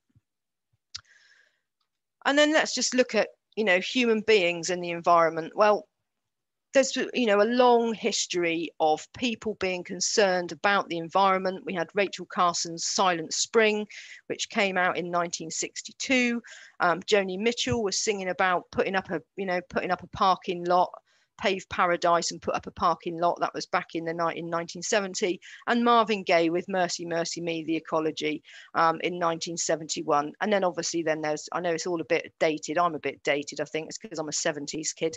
Um, then we've got Watership Down as well, the book by Richard Adams, and, and then the, the movie, again, highlighting the plight that the bunnies had. So, um, so it's not news at all. And more recently, we've had um, Greta Thunberg and obviously David Attenborough banging the drum for the environment and you know trying to get everyone to wake up to the fact that we cannot continue to undermine our you know our resource base. So hopefully something will fabulous will happen on on that front. I mean, it does seem to be that nature's having a renaissance, and more and more people are recognizing the benefits of nature. So let's hope that you know we can really make some positive changes. Um, uh, Butterfly Conservation launched in a, a campaign um, a little while ago, 18 months or so ago, called Be the Butterfly Effect. And that's all basically about the flap of a butterfly's wings can create um, storms further away. So the way I look at it is like throwing a, a pebble in the pond. Every single action that you take is like throwing a pebble in the pond, and those ripples spread out and have ramifications. And um, you know, and so if you don't believe me, then I've got a perfect example here because we've got these all these different people here shown on the screen have been out recording moths in various places. So all those individual actions have come to formed this collective of uh, this collective outcome, which is the atlas of Britain and Ireland's larger moths. So perhaps it shouldn't be called the butterfly effect, but perhaps we should call it the moth effect all of the data that comes in to butterfly conservation, be it butterfly records or moth records, um, it all feeds in to inform our conservation work and advice to landowners and such like. And I'm sure you probably saw this lovely slide in Phil's presentation earlier. So we can provide advice to landowners and local authorities and such like to improve the situation for Lepidoptera and again you know all our research and it all all the data collected informs all of our um, research and advocacy work and feeds into policy basically the records that you guys collect and submit to us are our evidence base so, quick summary of the atlas. I'm almost there. Um, moth, uh, moth recording is a really popular pastime. Um, the atlas is a provides a timely account of the state of our moths. It's a treasure trove to be mined. This, I'm quite sure we will find so many answers and solutions to problems if we just get the opportunity to delve into the data further. And continued recordings required because species are changing. You know, their distributions are changing, their flight periods are changing. We've got more species colonizing and such like, and others going extinct. So it's a constant state of flux. So we constantly need to be gathering in the data. So I'd just like to say thank you to all the county moth recorders, the moth recording community, conservationists, researchers, funders, supporters and photographers, and the, my colleagues and co-authors and, um, and, our, and our partners, UKCEH, uh, Nature Bureau and Rothamsted insect survey. And also thank you to you for listening. And, um, and if we've got time for questions, I'm happy to answer some. And here we are is today's special offer. You can get the Moth Atlas for £35, including postage. And uh, you just need to contact Malcolm Hull to get yours. So uh, thank you very much. Great. Well, thanks, Zoe. That's a fascinating talk. Um, I think we've um, we have got a little time left for questions. Um, um, if there are any questions that people want answered, can you put them in the uh, in the chat box? One one thing I just wanted to ask was about um, uh, pesticides. You you mentioned quite a few things that were um, bad for moths, but is is the use of insecticide and and, and other pesticides a, a, real problem still, or has has that improved a lot in recent years? The reason why I didn't really mention pesticides is because there isn't much specific research into it with moths. Um, but I think it's highly likely that pesticide use is is having an effect on on them. Yeah. Okay. Um, Chris Newman's asked is, are you sure that increases in abundance and distribution aren't just due to more and better recording? No, yeah, definitely not due, due to that because the the um, this the occupancy modelling and the generalized uh, whatever they are generalized abundance index they take into account those statistical methods take into account um, recording effort. So um, yeah. So they are real Okay. Um, in terms of conservation of moths, um, I mean, we we've sometimes struggled as a branch to work out what the what what we could do in that area. I know a lot of effort's been put into um, sort of a priority A moths, um, which we don't have any of in our area at all. Um, and um, although though we have, I think the four spotted moth has been our the, the one where we've uh, we've been trying to put uh, conservation effort in, although as it seems to, as far as we know, not to actually be resident in Hertfordshire at present. Um, it's, we, I can't say we've had great success in that front, but um, other than generally sort of encouraging wildflower meadows and, and not too much chopping down of hedgerows and planting nice things in our garden, is, is there anything more systematic we could do as a branch to, to encourage conservation?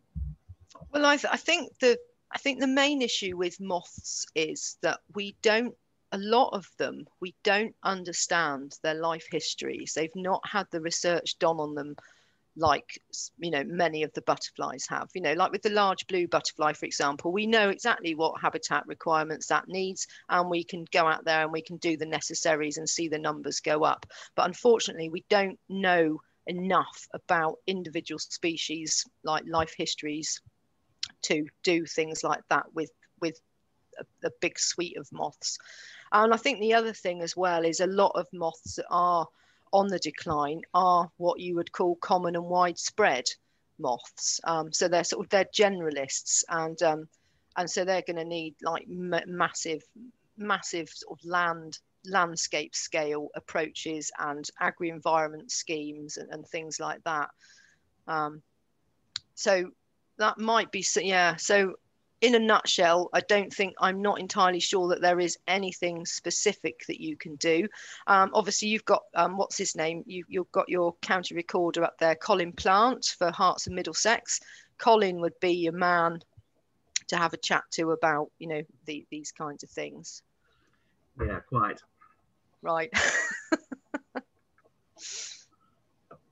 okay. Um, let's just have a look.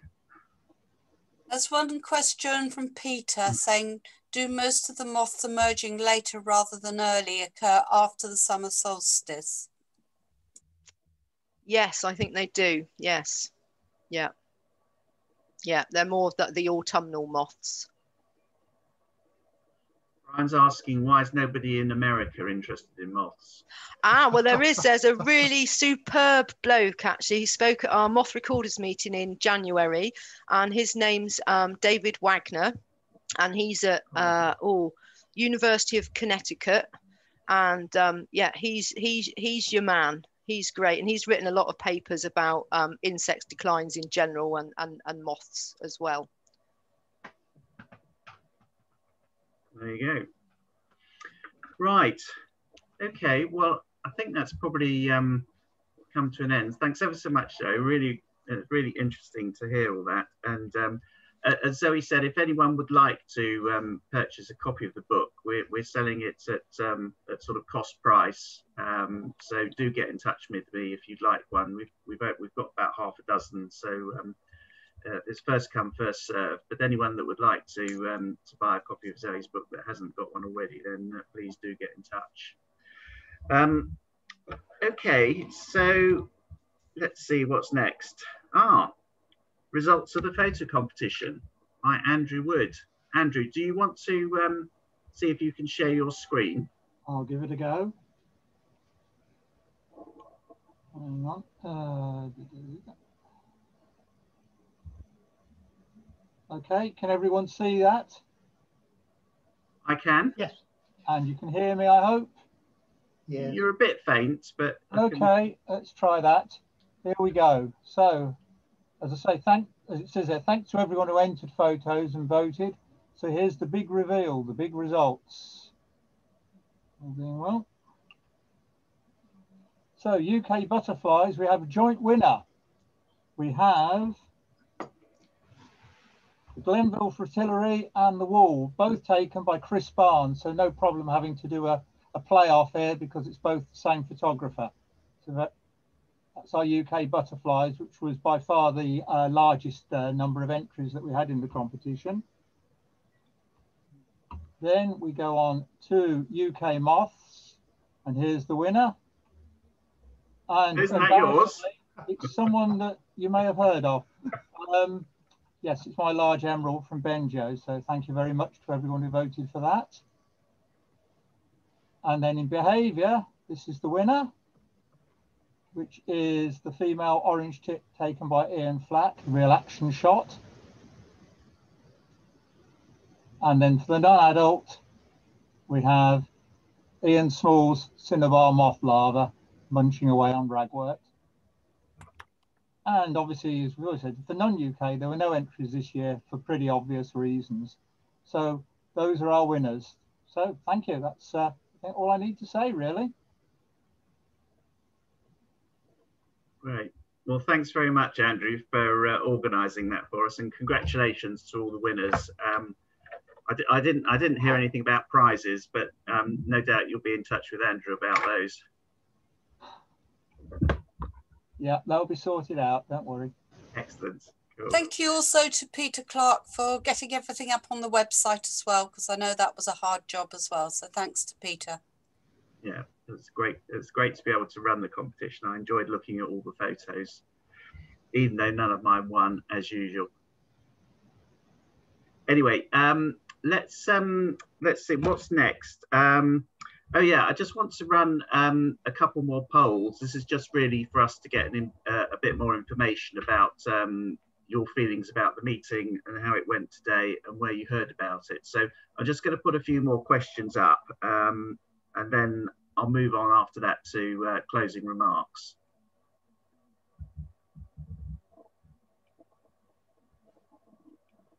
Just getting that. So there's um, there's three questions here.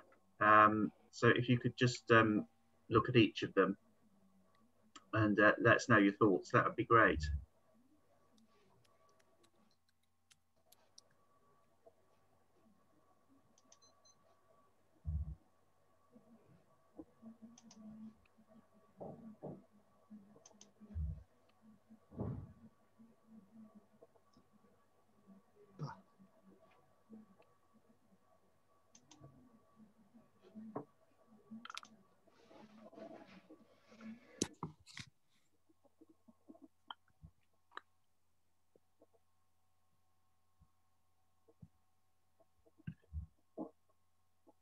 Cool. Well, thanks very much. That's um, looks like everyone's voted. Um, I'll just share the results. You can see that um, quite a few.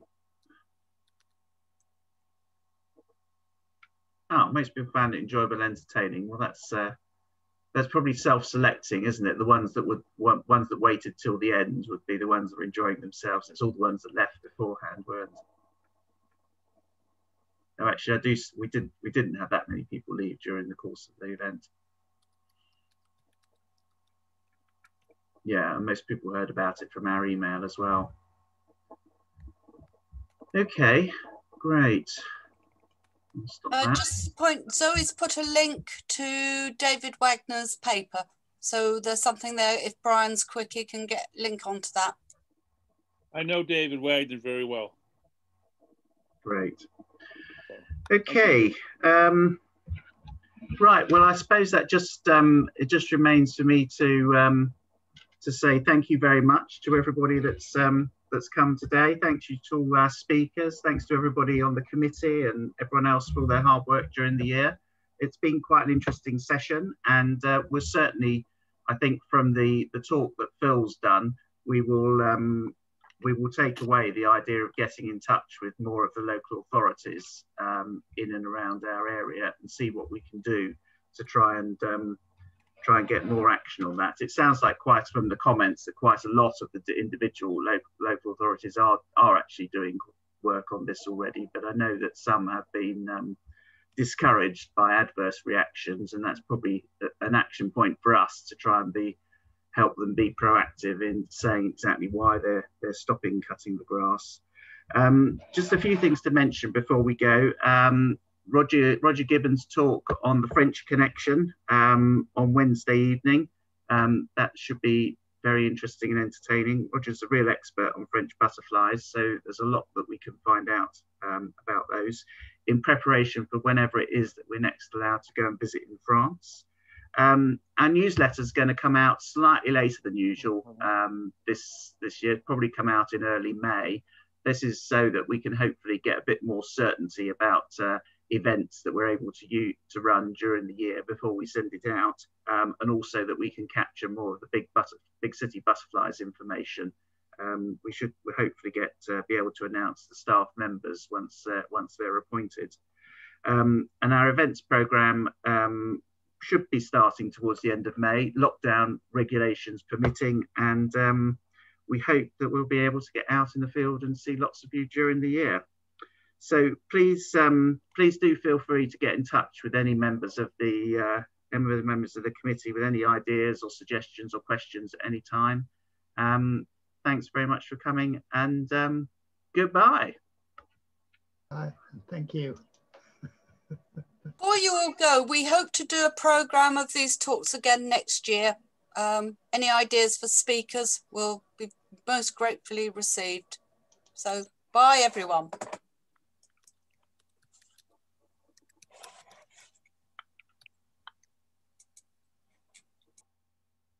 Bye. Thanks for coming. Thank you.